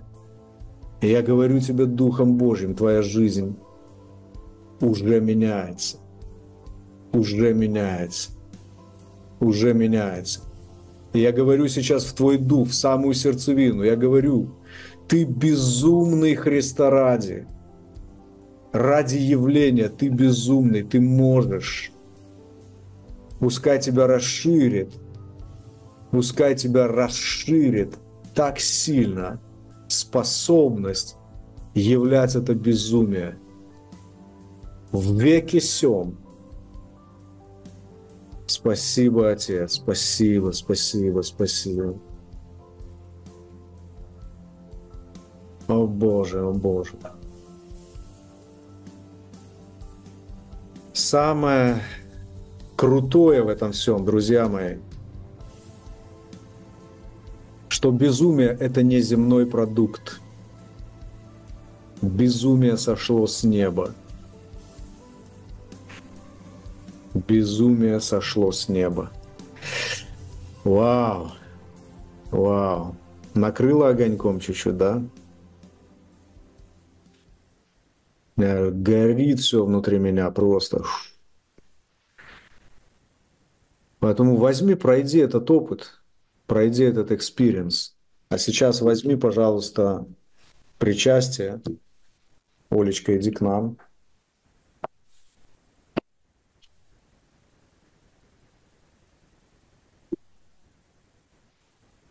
Возьми причастие. Знаете, это, как я люблю сейчас говорить, это стволовая клетка Иисуса Христа. Это его ген. И я сегодня хочу, чтобы ты привил себе ген безумия. Когда будешь, прежде чем принять это, скажи, я могу быть безумным.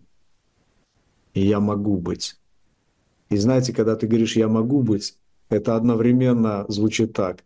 Я могу быть безумным, и я не могу быть безумным. Это всегда такая грань, знаешь, невозможного. Поэтому вот так. Безумие — это небесный продукт. Это природа неба. Бери и принимай сейчас это. Я могу быть безумным. И буду. Аминь.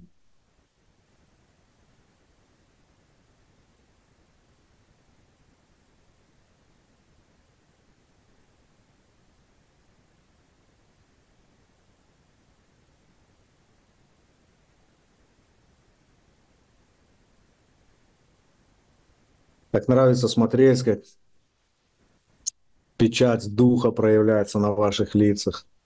Улыбки, слезы, свет, сияние. Давайте увидимся в апреле, обнимемся. И есть на эту, на эту школу не для того, чтобы, знаете, спикеры, весело. Это все круто, конечно, это будет. Но пережить опыт сделать невозможно. Сделай это в этом году. Год божественности. Проявись как Бог реально. И пусть весь мир подождет. Аминь. Аллилуйя.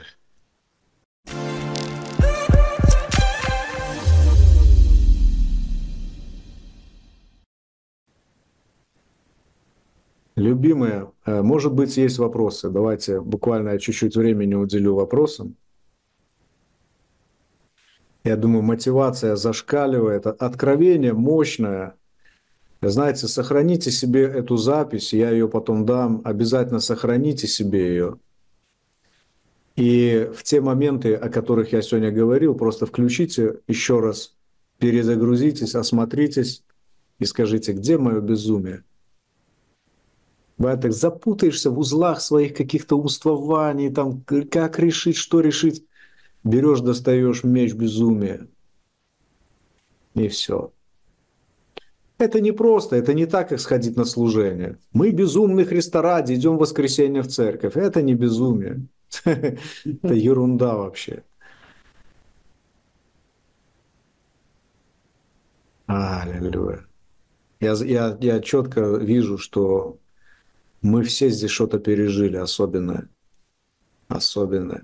И молитва особенная. Не каждый день ты молишься о безумии, да? Не каждый день ты хочешь обнаружить в себе такой камень, о который ты готов разбить всю свою жизнь. Вау. Таких моментов не бывает много. Иначе безумие бы не было безумием. Добрый вечер. Я поднимала ладонь. Я Ирина из Анкары. Ну, в плане безумия, по-моему, я все эти пять лет живу в безумии. Есть личный вопрос, который я, понимая все это, очень долгое время нахожусь в атаках. И страх, осуждение. Я устала говорить, что я э, ну, нет никакого осуждения. Я уже столько размышляю. Я но она как ежеви, как, как, как рукавица какая-то ежовая, меня держит и не отпускает. И я, я реально живу в безумии. Я реально живу в безумии. Я молюсь иногда до утра. Я много молюсь на языках. Я стала делать вашу молитву а, тишины. Даже ну вот когда я просто да, молчу, как вы говорите.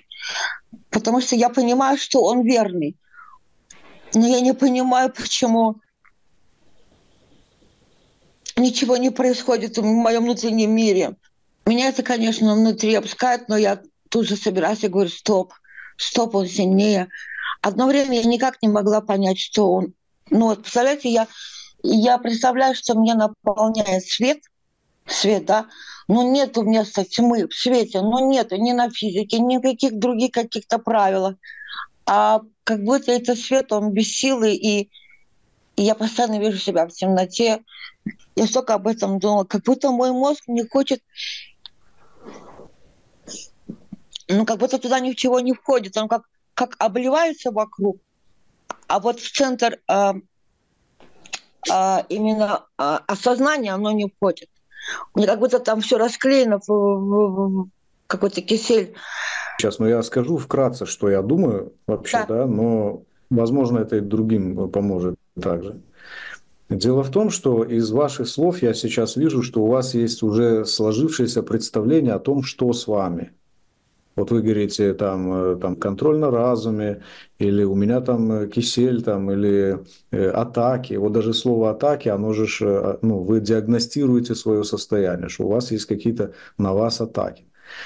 И моя, моя, ну, мой на сегодняшний день подход вообще к, к таким вещам – это отказаться от диагнозов.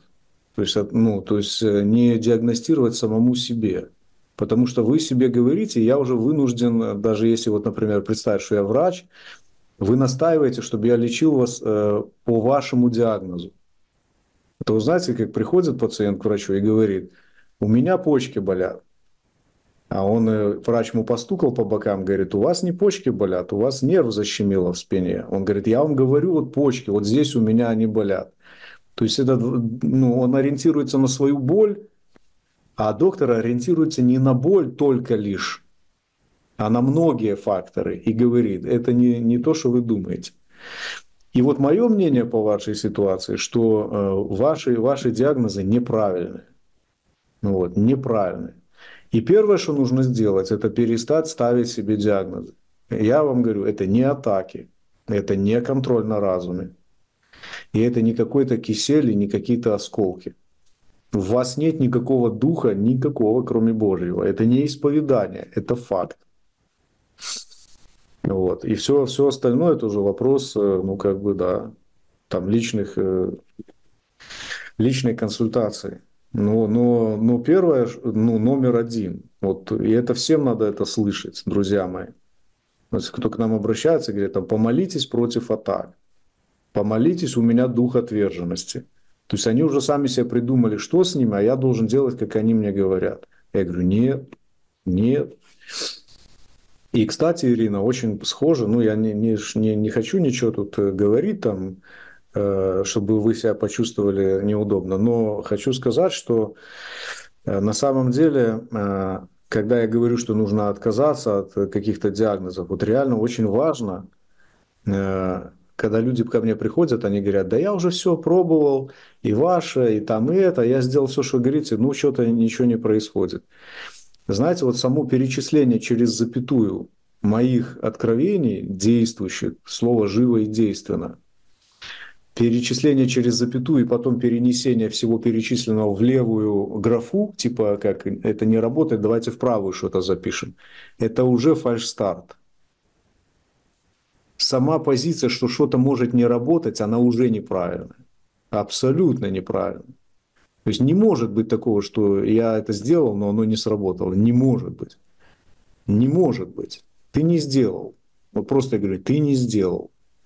Или там, э, я принимаю, что я нетленный, так это, это, но. Вот где начинается но, ничего ты не принял. Не принял ты ничего. Ничего ты не принял. Как написано, кто думает, что знает, тот еще ничего не знает, как, как надо знать. Почему? Потому что если ты знаешь, как надо знать, оно работает. Вот и все. Как определить, правильно ты знаешь или нет? Если не работает, как ты говоришь, значит ничего ты не знаешь. Знать – это когда работает. Например, привожу пример.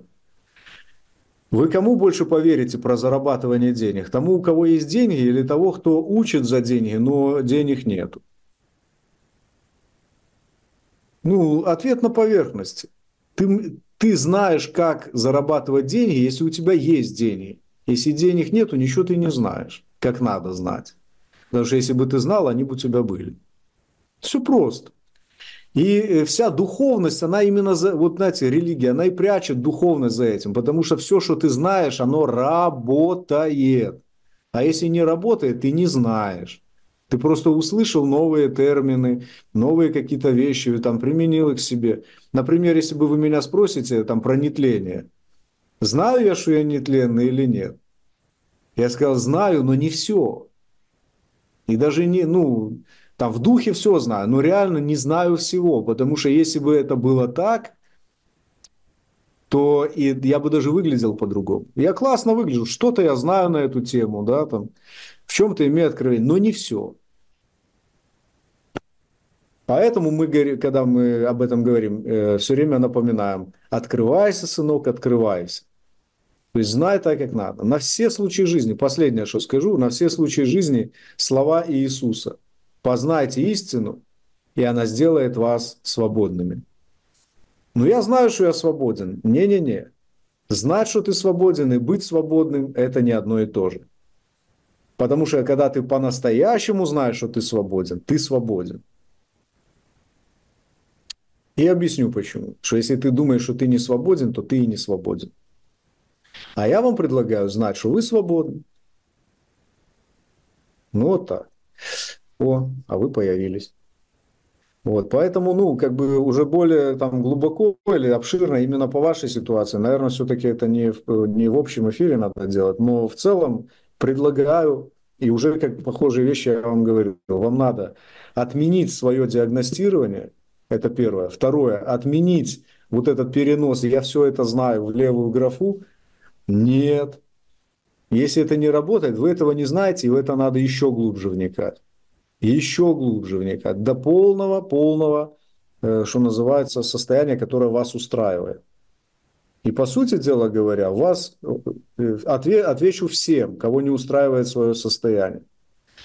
Вам нужно погружаться в откровение до тех пор, пока не будет состояния, которое вас устраивает. Ни из-за чего другого состояния не меняется. Молитва освобождения или вот от бесов там еще, она нужна людям, которые Э, не могут воспринимать сознанием истину. Ну, э, что называется, когда человек в сумасшедшем доме лежит, он даже твою речь не воспринимает. Ну, Гадаринский одержимый, он ничего не мог вообще там воспринимать. А всем остальным Иисус говорил, познай истину, и она тебя освободит. Понимаешь, о чем я говорю? Да, понимаю. Но не согласен. А, ну если не согласен, так это уже другое дело. Ну а в принципе, если познаешь истину, она тебя освободит. И по-другому и быть не может. Или ты знаешь, и оно работает, а если оно не работает, ты не знаешь. Ну, как было. Так, кто у нас тут еще руки держит? Ольга, Бельгия. Ирочка, мы вас ждем на школе Павла. Очень буду рад вас видеть. Э, пастор Андрей, у меня такой вопрос. Может, это есть у вас где-то в ваших э, видео, не все пересмотрела. последнее время у меня такой вопрос о теле. Я понимаю, что тело — это наш храм. Вы это хорошо объяснили, что мы не из праха, что мы из небес пришли по плану Божьему, то есть мы принесли небеса в этом храме, в телесном. Но у меня еще такой вопрос. Так как я работала в медицине раньше, в, в Украине, когда работала, в ортопедии, в хирургии, я была присутствующая при ампутации. Да? И у людей называются такие фантомные боли. То есть я mm хочу спросить, вот это вот есть же тело духовное, есть тело физиологическое, есть тело, ну, как аура говорят, да, и есть тело, как говорят, эфирное. То есть э, может ли, как бы в моем понимании, эфирное тело это, это память, память, э, память тела э, об ампутированных руках, ногах или органах, потому что у людей проявлялись фантомные боли. Ноги нету, но люди чувствовали боль. У меня такой вопрос. Эти все тела, они входят в, в одно единое, вот это вот наше тело, аура. Вот, вот если даже человек... Смотрите, вы... Угу. Смотрите, человек, вот вы говорим, вот мы говорим по Библии, да, есть перемещение, э, транс, э, телепортация тела может быть, когда человек телепортирует, телесно передвигается, потом возвращается, но не помнит. Он только видит по одежде, что он где-то был, что-то делал, э, как, как в том, что вспоминает. Если передвижение в духе, это что же тело духовное? Вот как разобраться с этим и относится ли это все в единое, вот это наше единство, единое тело? Может, у вас есть уже ответ где-то в каких-то ваших преду, предыдущих? Да, э, есть, да, да, все, я отвечу, потому что, ну, чтобы время Хорошо. не терять. Ну, во-первых, во-первых, э, пожалуйста, всем, всем, кто приготовился задавать вопросы, друзья мои, давайте будем придерживаться того, что вы сегодня слышали. Там вот по школе Павла, по э, вещам, которые я сейчас озвучил, потому что просто так отвечать на вопросы, которые я там в Академии Божественности озвучиваю, в других видео, ну, это не тот эфир, где я собираюсь это делать. Но поскольку я обещал отвечать на любые вопросы, то отвечу быстро на ваш. Во-первых, э, никто в христианстве попридумывали какой-то ерунды по поводу того, что такое духовное тело. Потому что э, выставляют все так, что духовное тело – это какое-то тело духа, а есть э, тело недуховное. Запомните, недуховного тела вообще не существует. Потому что то, то, что вы называете телесным телом, оно тоже духовное. Так вот, э, термин «духовное тело» означает вообще тело одухотворенное. То есть тело, которое вы, к которому вы относитесь с духовной позицией. Может, этот ответ вас разочарует или как-то слишком просто, но хочу сказать, что непосредственно есть тело уничиженное, а, а вот, как мы говорим, уничиженное тело наше. Кто его уничижил? Мы своим бездуховным отношением. Тело, которое не уничиженное, оно какое? Славное. А кто его делает славным? Ты. То есть твоя позиция с престола делает тело либо уничиженным, либо славным. Поэтому духовное тело это не какое-то там аура эфемерная. Это тело, которое ты наделяешь сознательно духовными характеристиками и как имеющий власть. Вот Иисус это продемонстрировал. Скажите, его тело духовное или нет? Мы иногда даже говорим, это духовное, это не духовное. А как мы определяем? Но если оно наделено духом, то оно будет духовным. Иисуса тело, оно славное. Нельзя его назвать не духовным, хоть оно и физическое. Как же оно тогда физическое? Мы говорим обычно, это духовное, это физическое. Это неправильное подразделение. Иисуса тело, оно славное. Его нельзя сказать, что оно не духовное. Это тело духа. И мы будем говорить, я сказал, пообещал, что на школе Павла я скажу, тело это не просто храм, тело это больше, чем храм. Но об этом на, на школе Павла я буду говорить, как на одном из э, элементов Академии Божественности. Вот. Насчет эфирного тела, это такую версию выдвигают, знаете, когда люди хотят, э, я знаю, что есть такое и 9 тел у нас, там кто-то еще больше называет и так далее. Я больше отношусь так, что есть ипостаси. есть одно и то же тело, проявляемое в разных ипостасях, как одежды. Хочешь так, хочешь так. И люди, когда это считают, они считают по количеству. Проявился так, значит вот так. Проявился так, значит еще одно тело. Проявилось вот так в сиянии, значит еще одно тело. Это все одно и то же тело. Вот как Иисус пришел э, на гору преображения и взял, засиял. Из этого можно сделать, о, у него еще и сияющее тело есть. Да нет, это то же самое тело, просто вот так проявилось. И одни считают проявления как отдельные вообще личности. Вот отсюда берется концепция о Троице. Один и тот же Бог, который может разговаривать сам с собой в образе Отца и Сына, преподносится чуть ли не как три Бога. Так что тогда три? Можно и пять, и десять сделать. Он проявлялся и в других ипостасях. Ну и что? Поэтому ну, э, э, вместо того, чтобы плодить учение о телах, нужно понять, что такое есть вообще твое тело. И его разные ипостаси не надо делать разными телами. Это одно тело в разных его проявлениях. Ну вот и все. Точно так же, как, ну, приведу еще более простой пример. Когда мы говорим, например, дары Святого Духа, апостол Павел, столкнувшись с этими проблемами, он говорит, это все один и тот же Дух. Но проявляется вот так или так или так.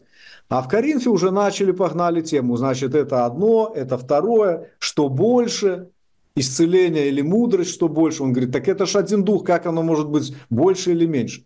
И мы о своих телах рассуждаем как дураки иногда. Духовное тело важнее, физическое в пренебрежении. Это одно и то же тело. Поэтому, забегая вперед, помните, я говорил, Иисус дал себя потрогать и говорит, это я сам. А Бог есть дух. Так в смысле? Ну вот я тебе даю себя трогать, это я сам, это и есть дух. Так это ж тело. Ты же сам говоришь плоть и кости э, и, и кровь там. И вот это мы чуть-чуть подробнее разберем на академии, на школе. Поэтому, ну, так вот. Не усложняйте. Будет ли водное крещение? Всем, кому нужно будет водное крещение на школе Павла, мы сделаем вам его. Хорошо. Можем, да, вопрос. можем даже утопить тех, кому не надо. Второй, второй вопрос. А, э, планировалась поездка в Эфес, она будет? Вы хотите в Эфес? Ну, хотелось бы. Э, смотрите, я, я напомню, что я сегодня сказал. Ладно, я вам скажу, куда будет поездка после школы. Хотите знать или нет? Ну да, мы 30-го вылетаем, так что, может быть... И... 30-го эх, рано вы вылетаете. Что, так, 29-го, 30-го, хоть э, днем или когда у вас там? Днем, скорее всего, да. Ну, если есть возможность э, как-то что-то поменять, я всем говорил, что лучше всего первого числа улетать. Ну, мы Смотрите, брали но я тем не менее путевки туры. Да, мы говорили, два дня еще оставляйте в запасе, будут поездки. Смотрите, куда я хочу вас свозить, родные. Вы будете очень рады. Помните, я говорил, что мы сделаем специальную молитву э, прямо э, на золоте? Ну, ну это вот вы, это. да, говорили, да, чтобы с Каппадокию и... Э, нет, нет, это не Каппадокия. Каппадокия будет у нас в середине школы в середине, в, какой, в какие-то два дня в середине школы у нас будет Каппадокия. Мы поедем туда с ночевкой, будем летать на шарах, посетим подземный город и совершим там молитву, очень крутую. Это будет в середине школы. А после школы у нас будет поездка э, в Сардийскую церковь. Это одна из церквей, э, из семи церквей Апокалипсиса. Вы помните, ангелу Сардийской церкви напиши. Угу. И вот эта Сардийская церковь и вот этот город э, Сардийский, э, я буду там на месте молиться, рассказывать об этом. На самом деле этот город, он стоял на золоте. Там была река, в котором было огромное количество, там добывали золото. И это первый город, где начали выдавать кредиты вообще. Это был богатейший город, и церковь сардийская была богатейшая вообще. Там было просто золото, там деньги, все. И кроме того, что мы посмотрим на эту церковь и остатки этого города, мы совершим там молитву за финансы. Это будет как часть бизнес-собора. Я реально верю, что на многих людей придет откровение, прямо их ну, вот, расширение по поводу финансов, очень сильное. И поскольку там выдавались кредиты в этом городе, один из первых городов, где выдавались кредиты, то я думаю, что кто-то по приезду позакрывает все свои кредиты. О, спасибо. И последний да, вопрос. И вот, вот это будет, да-да, сейчас я договорю чуть. Это будет поездка после, после школы, то есть 28 числа, воскресенья, мы заканчиваем официальную часть, и 29 с утра мы выезжаем вот туда, куда я сказал. Ого. Это вот наш такой план. Это будет с ночевкой прямо в сардийском городе в этом. Я думаю, это будет очень круто. По поводу там а. цен и организационных вопросов мы скажем позже. А вот, то есть позже, да, по поводу по этой поездке. И последний такой вопрос, как бы просьба, можно вам, вам написать личку вот по поводу этого вот, э, что мы говорили, что по поводу безумия. Ко мне пришло то, что вот для меня э, как бы будет безумие поделиться можно будет вам написать? Хорошо, да, напишите, да. Угу, да. Хорошо, просто это такой... Да, я, может быть, не сразу отвечу, потому что... Нет, это, личке... это без вопроса, мне вам как бы озвучить, чтобы вы были как бы в курсе. Да. Ну, У меня в личке для... тропа народная, тропа народная не зарастает там просто. Спасибо, вообще. мы вас очень любим, огромное спасибо, то, что с нами ну, все Я убираю ручку. Спасибо. Да. Так, ну давайте так, Лидия Павлюкова. И потом, и, и потом уже все, будем... Э, я отвечу на вопрос, еще кое-что скажу, и будем заканчивать. Лидия, где вы видите на видео? А, всем привет. Классную тему вы сегодня сказали. Я вот хотела спросить у вас, э, иногда э, приходит такой момент в жизни, когда ты устаешь верить. Когда ты устаешь, наверное, а, дерзновенно переть вперед, что ли. И хочется вот иногда таких состояний, когда ты хочешь просто сдаться и сказать, делай ты, Господь. Вот и мне вот вопрос, а где вот в таких моментах должен быть ты, а где Господь? Вот, вот э, ну, иногда вот ты просто... Вот, вот я хочу сказать, что, а, например, такие вещи, как рак, а, наркотики, алкоголь, все это, все, что сталкивает, сталкивается человек, да, и когда ты хочешь просто придушить это или выбросить куда-нибудь эту э, гадость, чтобы она, ну, как бы вот, не знаю, вот, э, понятно вопрос? Э, хочешь придушить и что? Ну вот как бы вот аж иногда хочется просто вырвать это, выбросить и ну вот, и чтобы надо. освободить человека. Так и надо, да. Но а как, как это вот, э, типа, а, дерзновенно, вот как вы на примере сегодняшнем делали, да? Веровать ну, или своими усилиями как-то, вот как вот вы, например, это в течение нескольких дней э, как-то это, это не есть ли человеческие какие-то подуги? Я просто вот немножко, может, что-то не понимаю, не знаю. Вот поясните как-то. Хорошо, давайте я буду, буду отвечать потихоньку, хорошо? Ага. Э, смотрите, вот хороший задала помазанница вопрос, правда? Что если, давайте первая часть вопроса, что если ты устал верить и хочется просто плюнуть на все и это самое? Смотрите, друзья, э, ошибка. Э, мудрый Соломон говорит, надежда, долго не сбывающаяся, томит сердце. О чем он здесь говорит? О надежде. Если ты устал, то ты в надежде, ты не в вере. Вера – это как кокаин, как наркотик. Ты в нем становишься отвязанным, он сам тебя несет, тебе не надо напрягаться. Извините за сравнение с кокаином, потому что под кокаином люди становятся мега идейные такие. Им кажется, что они тут сейчас море им по колено. Они такие прямо как, на, ну, как энергетик такой мощный. Вера, она не может делать человека усталым, потому что она несет на своей энергии тебя. Ты ничего не делаешь. Ты как реактивный самолет, сзади тебя этот, э, э, маслают турбины, и ты не машешь крыльями. Вы заметили, что самолет не машет крыльями? Его несет энергия сжигаемого топлива. Вот это вера. Когда человек устает, это значит наоборот, что веры у него не было. Ну, он не, точнее, не то, что веры не было, она у него есть как дар, но он ее не чувствует. Когда ты не чувствуешь веры, тогда ты начинаешь из себя ее выдавливать, и ты устаешь. И вот вывод, вывод, формула. Если ты устал, то ты не от веры устал, ты устал от неверия. Именно от того, что ты находишься в измерении надежды, она изматывает тебя. Надежда. Она, потому что надежда, она ожидает. Она ожидает. Помните, говорит, когда ты видишь, чего и надеяться. А когда ты видишь? Когда веришь. Ты уже не надеешься, все, ты не устаешь. Это первое. Второе, по поводу э, там э, э, рак и как это все вырвать там, короче, да. Понятное дело, что когда я сейчас привожу свой пример, как я действовал, я не действовал, как я уже сказал, по откровению, или там у меня не, не нельзя это назвать такое, что это вера. Это безумие. Знаете, вот как э, э небесный продукт, он, э, он вообще не нуждается в том, чтобы ну, во что-то там верить. Он, он просто вопреки всему.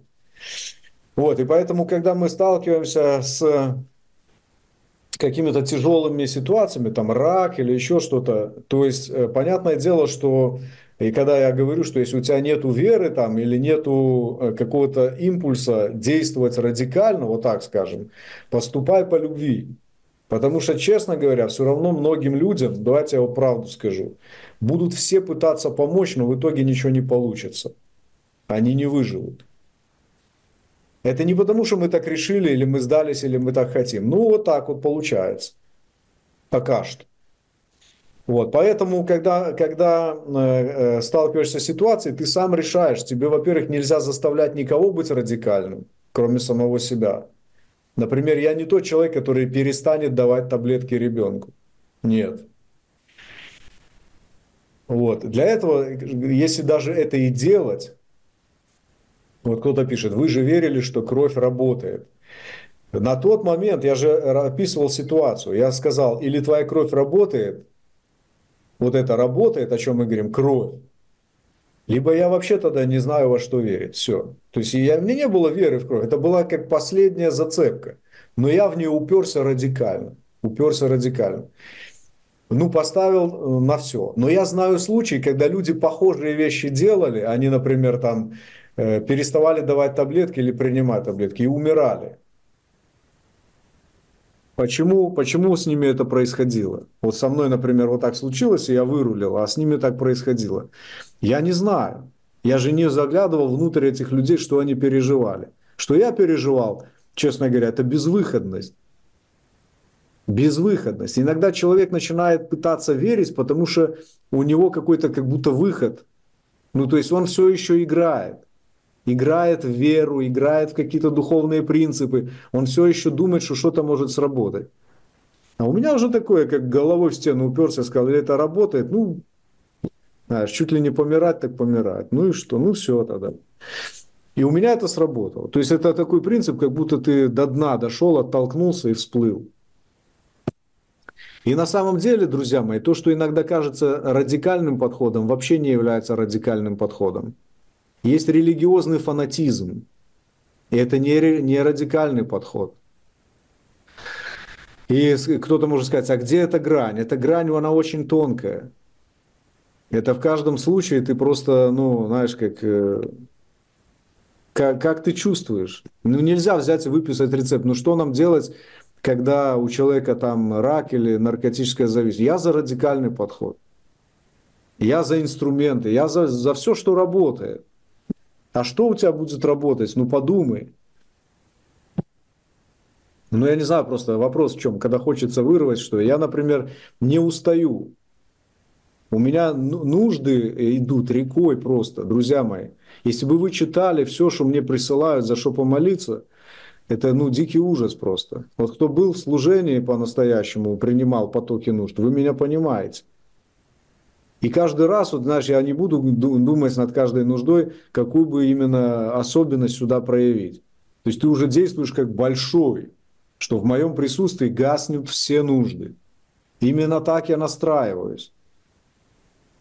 Не хватает радикальности. Я же говорю, что даже в этих вопросах мудрость какая-то во Христе нужна, как действовать там, что, ну, потому что мы живем в измерении надежды.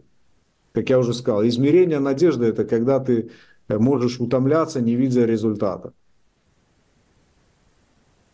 На самом деле, друзья мои, вот э, последнее, что скажу еще, э, Лидия, немножко просто вы размыто вопрос за проблемы, за рак задали. Вот за надежду, которая утомляет, я отвечаю четко, потому что вопрос четкий. Почему устаю от веры? Не устаешь от веры, устаешь от надежды, не сбывающейся.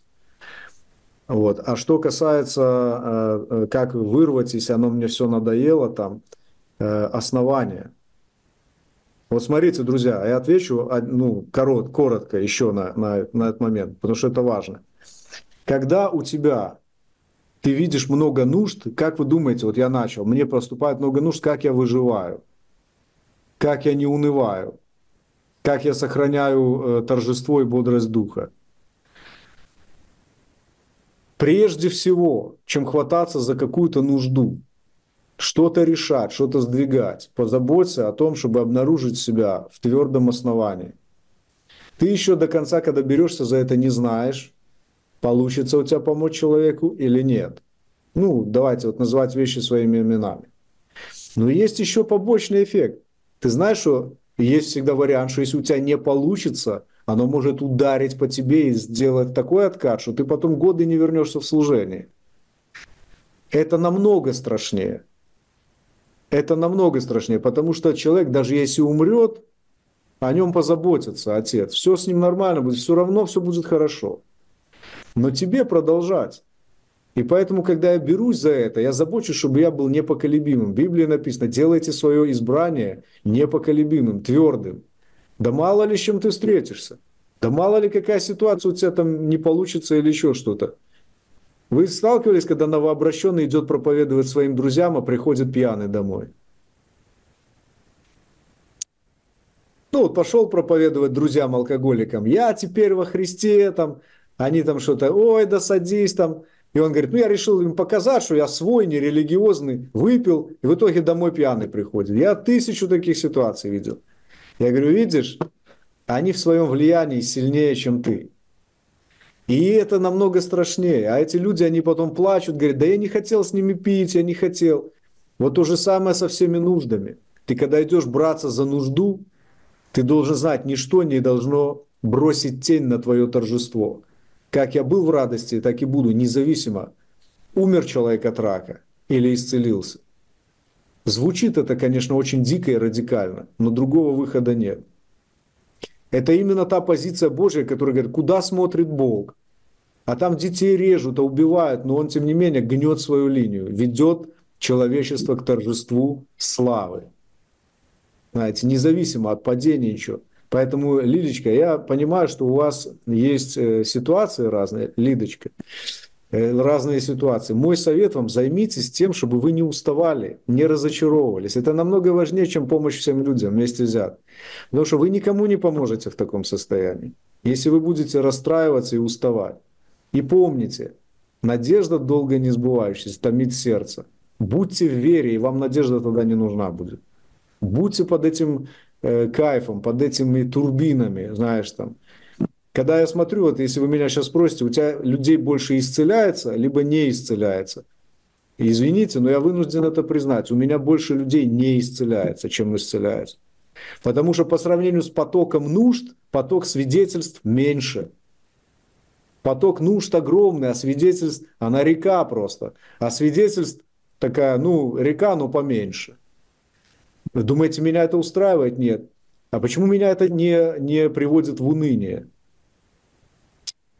Хотя я очень ревностно отношусь и скажу вам всем в открытую, что когда, если у меня на эфире, или вдруг я чувствую, что как будто бы свидетельств стало меньше, я тут по стенкам дома бегаю, моя жена вам подтвердит, я, я, я иногда кричу, я говорю, где исцеление, где чудеса? Что это такое вообще? Что происходит? Алло, а ну, где ходатай, где молитвы? Быстро там. И, и потому что я так ревностно отношусь, потом смотрю, хоп, опять волна пошла. Градус, держу все время градус. Я не говорю, что меня это не расстраивает, но я, я знаю, что с этим делать. Поэтому, если у вас что-то не получается, делайте еще, еще. И держите состояние. Не сильтесь верить, а, а живите в эйфории веры. Ну вот так. Хорошая проповедь, правда? Лида, Нет, я вот просто, я просто думаю, знаете что? Вот вы говорите, я буду всегда тут жить на земле. Я думаю, Господи, все время жить и все время вот это вот смотреть на все вот это, ну что происходит. Э, действительно, если бы взять вот эту вот позицию, что ты Бог, и ты пошел и все исправил, классно. Я тогда согласна. Но вот так жить и ну, вот так вот, вот смотреть на все эти... Кто находится, Лида, кто находится в стабильном состоянии божественной природы, тот уже все исправил. Как вы думаете, у Бога есть такое состояние? Блин, я еще не все исправил. Нету такого состояния. Именно поэтому он и говорит, все я совершил. Я уже все совершил. И Библия называет его блаженным Богом. Поэтому, когда тебе хочется все исправить, скажи, я уже все исправил. Я уже все исправил. То есть живи хотя бы в этом состоянии блаженства, иначе ты вообще ничего не сдвинешь с места. Запомни, есть принцип, который идет через все наше служение. Это правило номер один в любом управлении. Называется так. Наслаждайся и управляй. Как только ты теряешь рай, ты теряешь всю землю. Как только потерял Адам источник наслаждения Эдем, он потерял всю землю. Земля стала превращать его в раба. Поэтому как только ты потерял источник радости, э, самое интересное, что тебе кажется, что весь мир погряз в болоте. Интересно, что когда источник радости в тебе бурлит, тебе кажется, что земля полна славы. Вы заметили это? Вот как только у тебя настроение хорошее, тебе кажется, что весь мир – это просто сплошное удовольствие. Тебе говорят, так там война идет, там еще что-то. Ты такой, ничего, Господь царствует, аллилуйя. И все. Поэтому как ни крути, все внутри тебя.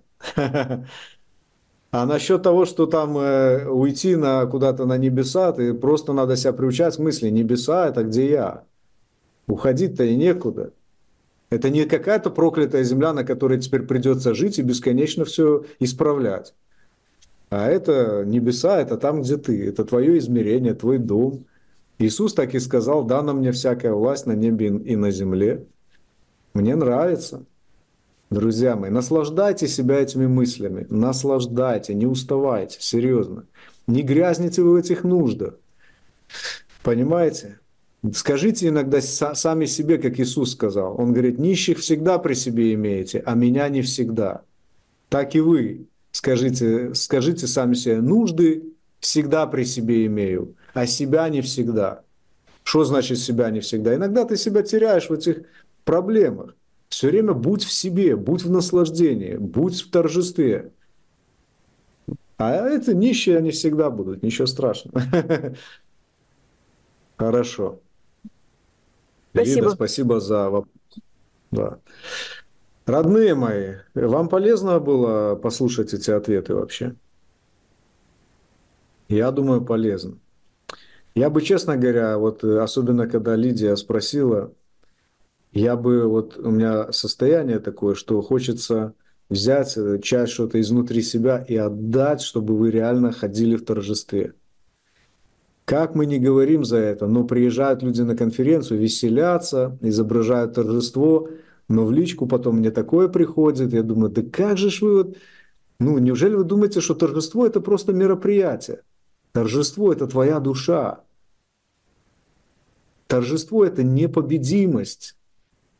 Знаете, и, и они говорят, так что торжество это рот до ушей хоть завязочки пришей.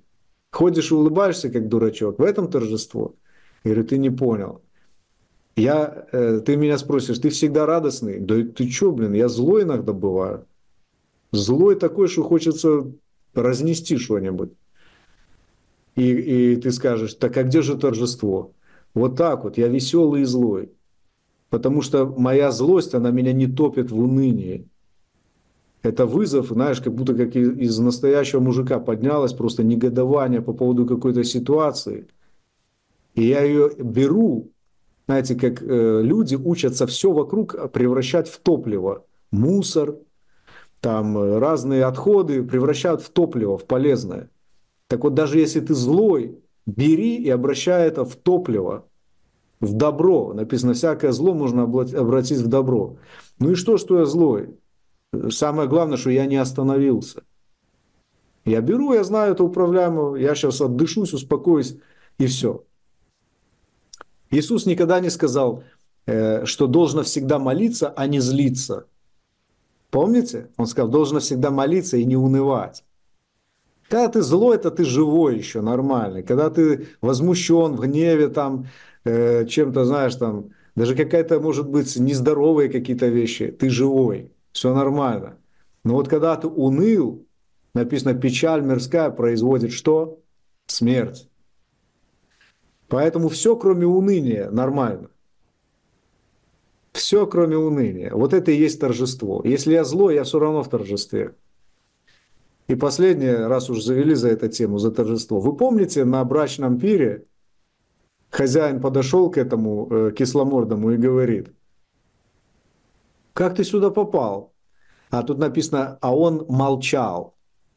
Знаешь, если бы он был злой, он бы э, сказал, да что вы тут, что тут за праздник там, да, там возмущил, возмутился. Был бы он еще каким-нибудь, он бы выразил свое чувство. Но он был вот этим, что называется, не холоден и не горяч. Кислая, глупая, тупая физиономия. Хуже не придумаешь. Хуже не придумаешь. Поэтому торжество – это все, кроме уныния. Даже злой ты в порядке. Даже возмущенный ты нормально. Даже ревность ты про это все нормально. Но когда ты унылый, вы читали, что Бог, Он ревнитель? Читали? О гневе Божьем читали? Читали. А о том, что Дух раздражается, читали? Читали. А теперь у меня вопрос. Вы читали что-нибудь про унылого Бога? Все эмоции, кроме уныния, оказывается, у Бога есть. Вот Бог унылый я нигде не читал. Злой читал, ну там гнев у него, да, там. Раздраженный читал, блаженный читал, веселый, ну все эмоции. Но нигде не написано про унылого Бога. И поэтому только про уныние написано, что уныние рождает смерть. Поэтому жизнь в торжестве – это не род до ушей. И не какая-то клоунская радость. Жизнь в торжестве – это жизнь полной грудью. Все, кроме уныния. Все нормально. Все с тобой хорошо. Вот такая вот, знаете, нерелигиозная позиция. Вам нравится это? Наконец-то можно живым быть, ребята, а не ходить и улыбаться лицемерно. Будь живым, будь нормальным. И даже если что-то не так, просто там позлился, ну и что? Бог тоже гневался. Написано, гневается. Дух раздражается. Не раздражайте духа написано. А что я не могу раздражаться? Могу. Все с тобой нормально. Не слушай просто э, всякую церковщину. Вот есть слово такое церковщина. Есть бесовщина, а есть церковщина. Скажу по секрету, это одно и то же. Ой, не могу. Хорошо, родные. Все, уже вопросы закончились все организационные вопросы. Итак, мы поедем в Каппадокию, мы поедем в Сардийскую церковь, молиться, стоя на золоте. Вау! И, конечно, у нас будет корабль с салютом на воде. Я уже не говорю про помазание, славу и все, что мы... Э, я приготовил там... Ой, ой, ой. Я, представляете, перед эфиром с вами сегодня в Зуме – Сижу, чаек попиваю, и вдруг у меня пошла трансляция. Я такой раз за телефон, и за полчаса прямо выродил тему, которая у нас будет на школе Павла.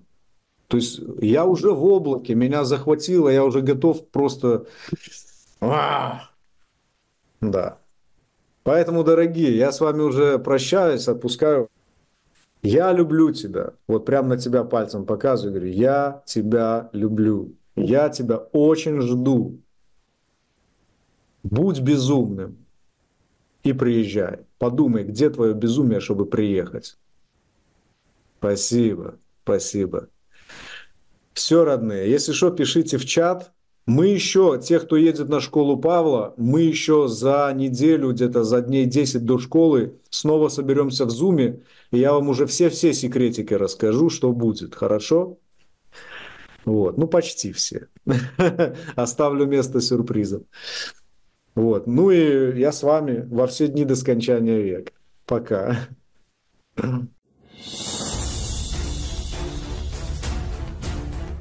Поэтому школа божественности, она для того, чтобы взять тебя буквально за руку и перевести э, в этот уровень познания, где уже нету я и он, а где есть я есть. В познании себя в этом состоянии, которое позволит тебе оперировать с божественной природой, а не просто ждать, что какая-то божественная природа будет с тобой взаимодействовать.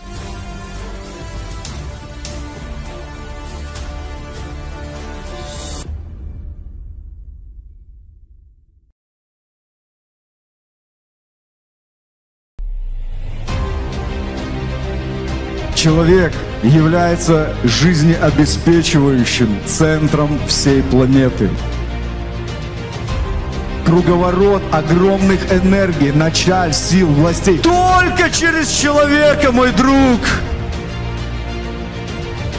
Это та новая ипостась, в которой Бог решил жить сам лично, сотворяя землю.